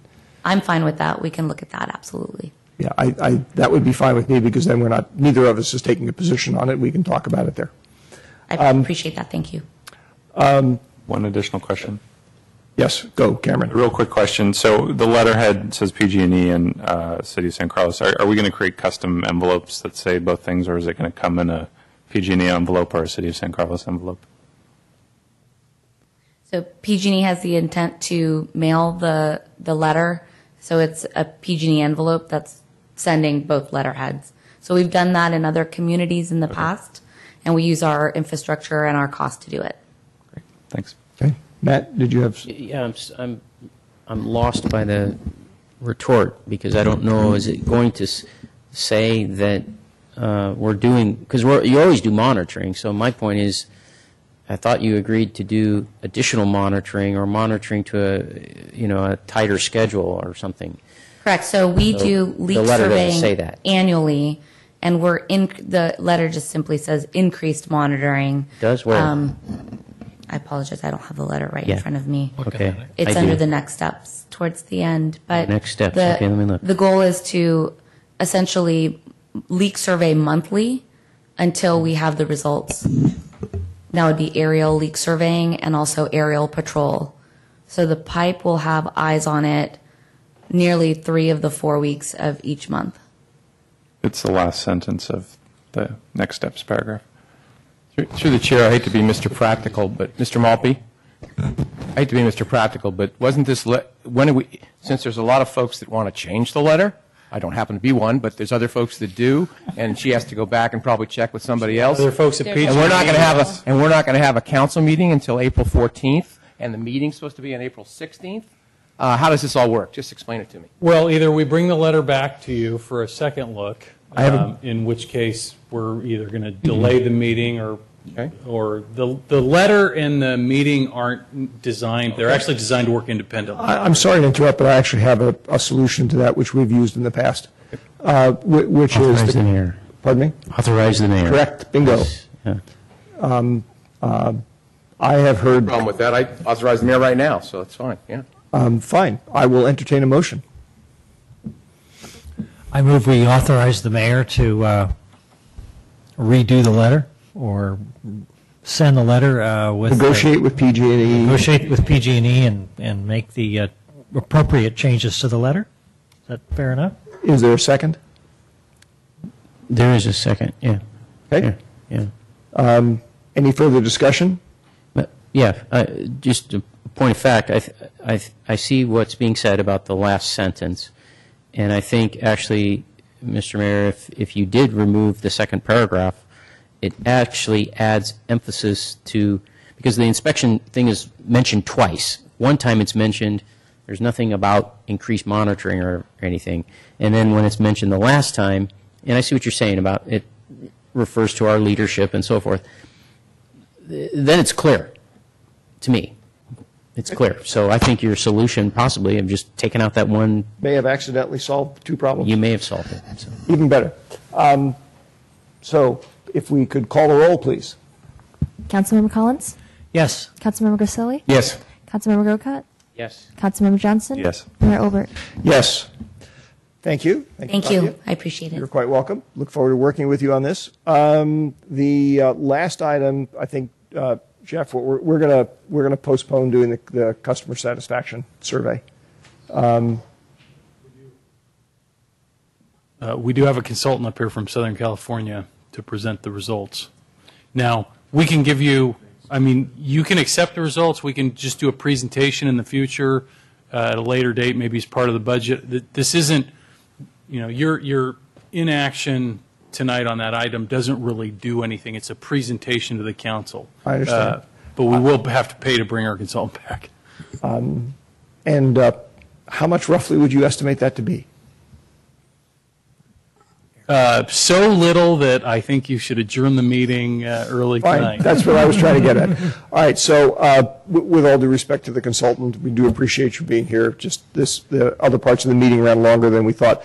Uh, There is one last item that I do want to bring up to the council's consideration because it is on a short shot clock. This is the uh, uh, uh, Mayor's Water Conservation Challenge. This is something that was brought to my attention by uh, um, Kathleen Gallagher and the folks over at San Carlos Green and uh, Cameron, uh, who, had been- uh, as you know, is our liaison to them. Um, And uh, it's I'm- basically. I'm sorry to interrupt, Mr. Mayor. Yes. Yeah, I was just going to say, we're, we're at the time limit that you've authorized before, so. All right. It's- We So, probably uh, need to get a little bit more time to, to do this last I time. will, if anybody cares to, I will entertain a motion for five more minutes. I'd like to move that we extend the meeting by five minutes. Second. All in favor? Aye. No. No. All right, three to two. Falling off. Crystal, I'm sorry. Put me down for no on the one before, too. Um, You can't change your vote after the Sure I fact. can. Just like the state, I can change the button. All right, so um, this is a, uh, uh, I thought this was uh, uh, a timely thing to do. Uh, In many cases, these are items, uh, as you all know who have served as mayor, these are things that uh, uh, organizations in the city actually do all the work on themselves, and we just issue a proclamation. Um, Those types of things are typically left up to the mayor's discretion. The reason this one's in, in front of you is because there is a little bit of a resource footprint on staff resources. It's probably in the neighborhood of about um, a grand, I think, plus or minus, uh, in terms of sending out a few press releases and drafting some things. So it's mostly staff time uh, that we're talking about, and not a lot of it, but it is there. And so, uh, since, uh, uh, so that's why I brought it back to the dais. Um, Any questions? Do you need a, do we need a motion? Uh, If we're going to do it, yes, I believe, actually, we don't have it set up as a, as a motion. 11C, it says I move to approve. Well, there's, there's no resolution. There's no resolution. attached, But yeah, a motion. Motion, would be okay. Fine. So, uh, I'm ready. go for it. I move to approve the city's participation in the Mayor's Water Conservation Challenge. I second. There's a motion and a second. Uh, Any further discussion? The only thing I can say is I have no idea what this is about. So I can't vote for it because I don't know what it's about. What is the challenge about? I have no idea. And I don't want to, I don't necessarily want to hear it, so I'm going to vote no. I mean, this is really poor. We didn't even get a report on this. Seriously. This, what, we should have gotten something. What does the challenge mean? I can't vote on something I don't know what it means. There was, did that material The not, challenge, drop it by 20%, drop it by 100%. I don't understand it. did the material, apologize. did the material not get provided? The Colma letter, I don't believe, was, was provided to the Okay. council. So I'm sorry, Yeah, but that wasn't know. my understanding of our I'm not against water challenges, but I don't know any idea what it's about. That's, that's fair enough. No. Is there a That's fair enough. Is there a time limit on it? Uh, It's, I believe, it- as I recall, it's like a month. or, or two months, something like that. It's a fairly short thing. It's basically, uh, the way it works is people enroll in it and make pledges to reduce water consumption by certain amounts in, over a certain period of time. And, and uh, one competes for prizes based on how many people in your community sign up and how much water reduction they commit to. And as I recall, and Cameron, correct me if I'm wrong, you know, the, the, it, it's pretty much on an honor system. I mean, it's not like there's an audit process that goes out there. Yeah, it's it's basically a way to raise awareness about um, water reduction strategies and to give, uh, you know, in this case, San Carlos Green a vehicle to try and create some friendly competition among cities to get people motivated to think about water conservation. Correct. So uh, I don't expect that to sway your vote, but that's, there you go. All right. So, um, Just one last question. Is there a cost to it? Yes, as I explained, it's about $1,000 of staff time. That's why it's here, otherwise I would have just done it. Right, right. So, um, Crystal, the roll, please. Councilmember Collins? Yes. Councilmember Grassilli? No. Councilmember Grocott? No. Councilmember Johnson? Yes. Mayor Olbert? Yes. And with that, we will adjourn the meeting.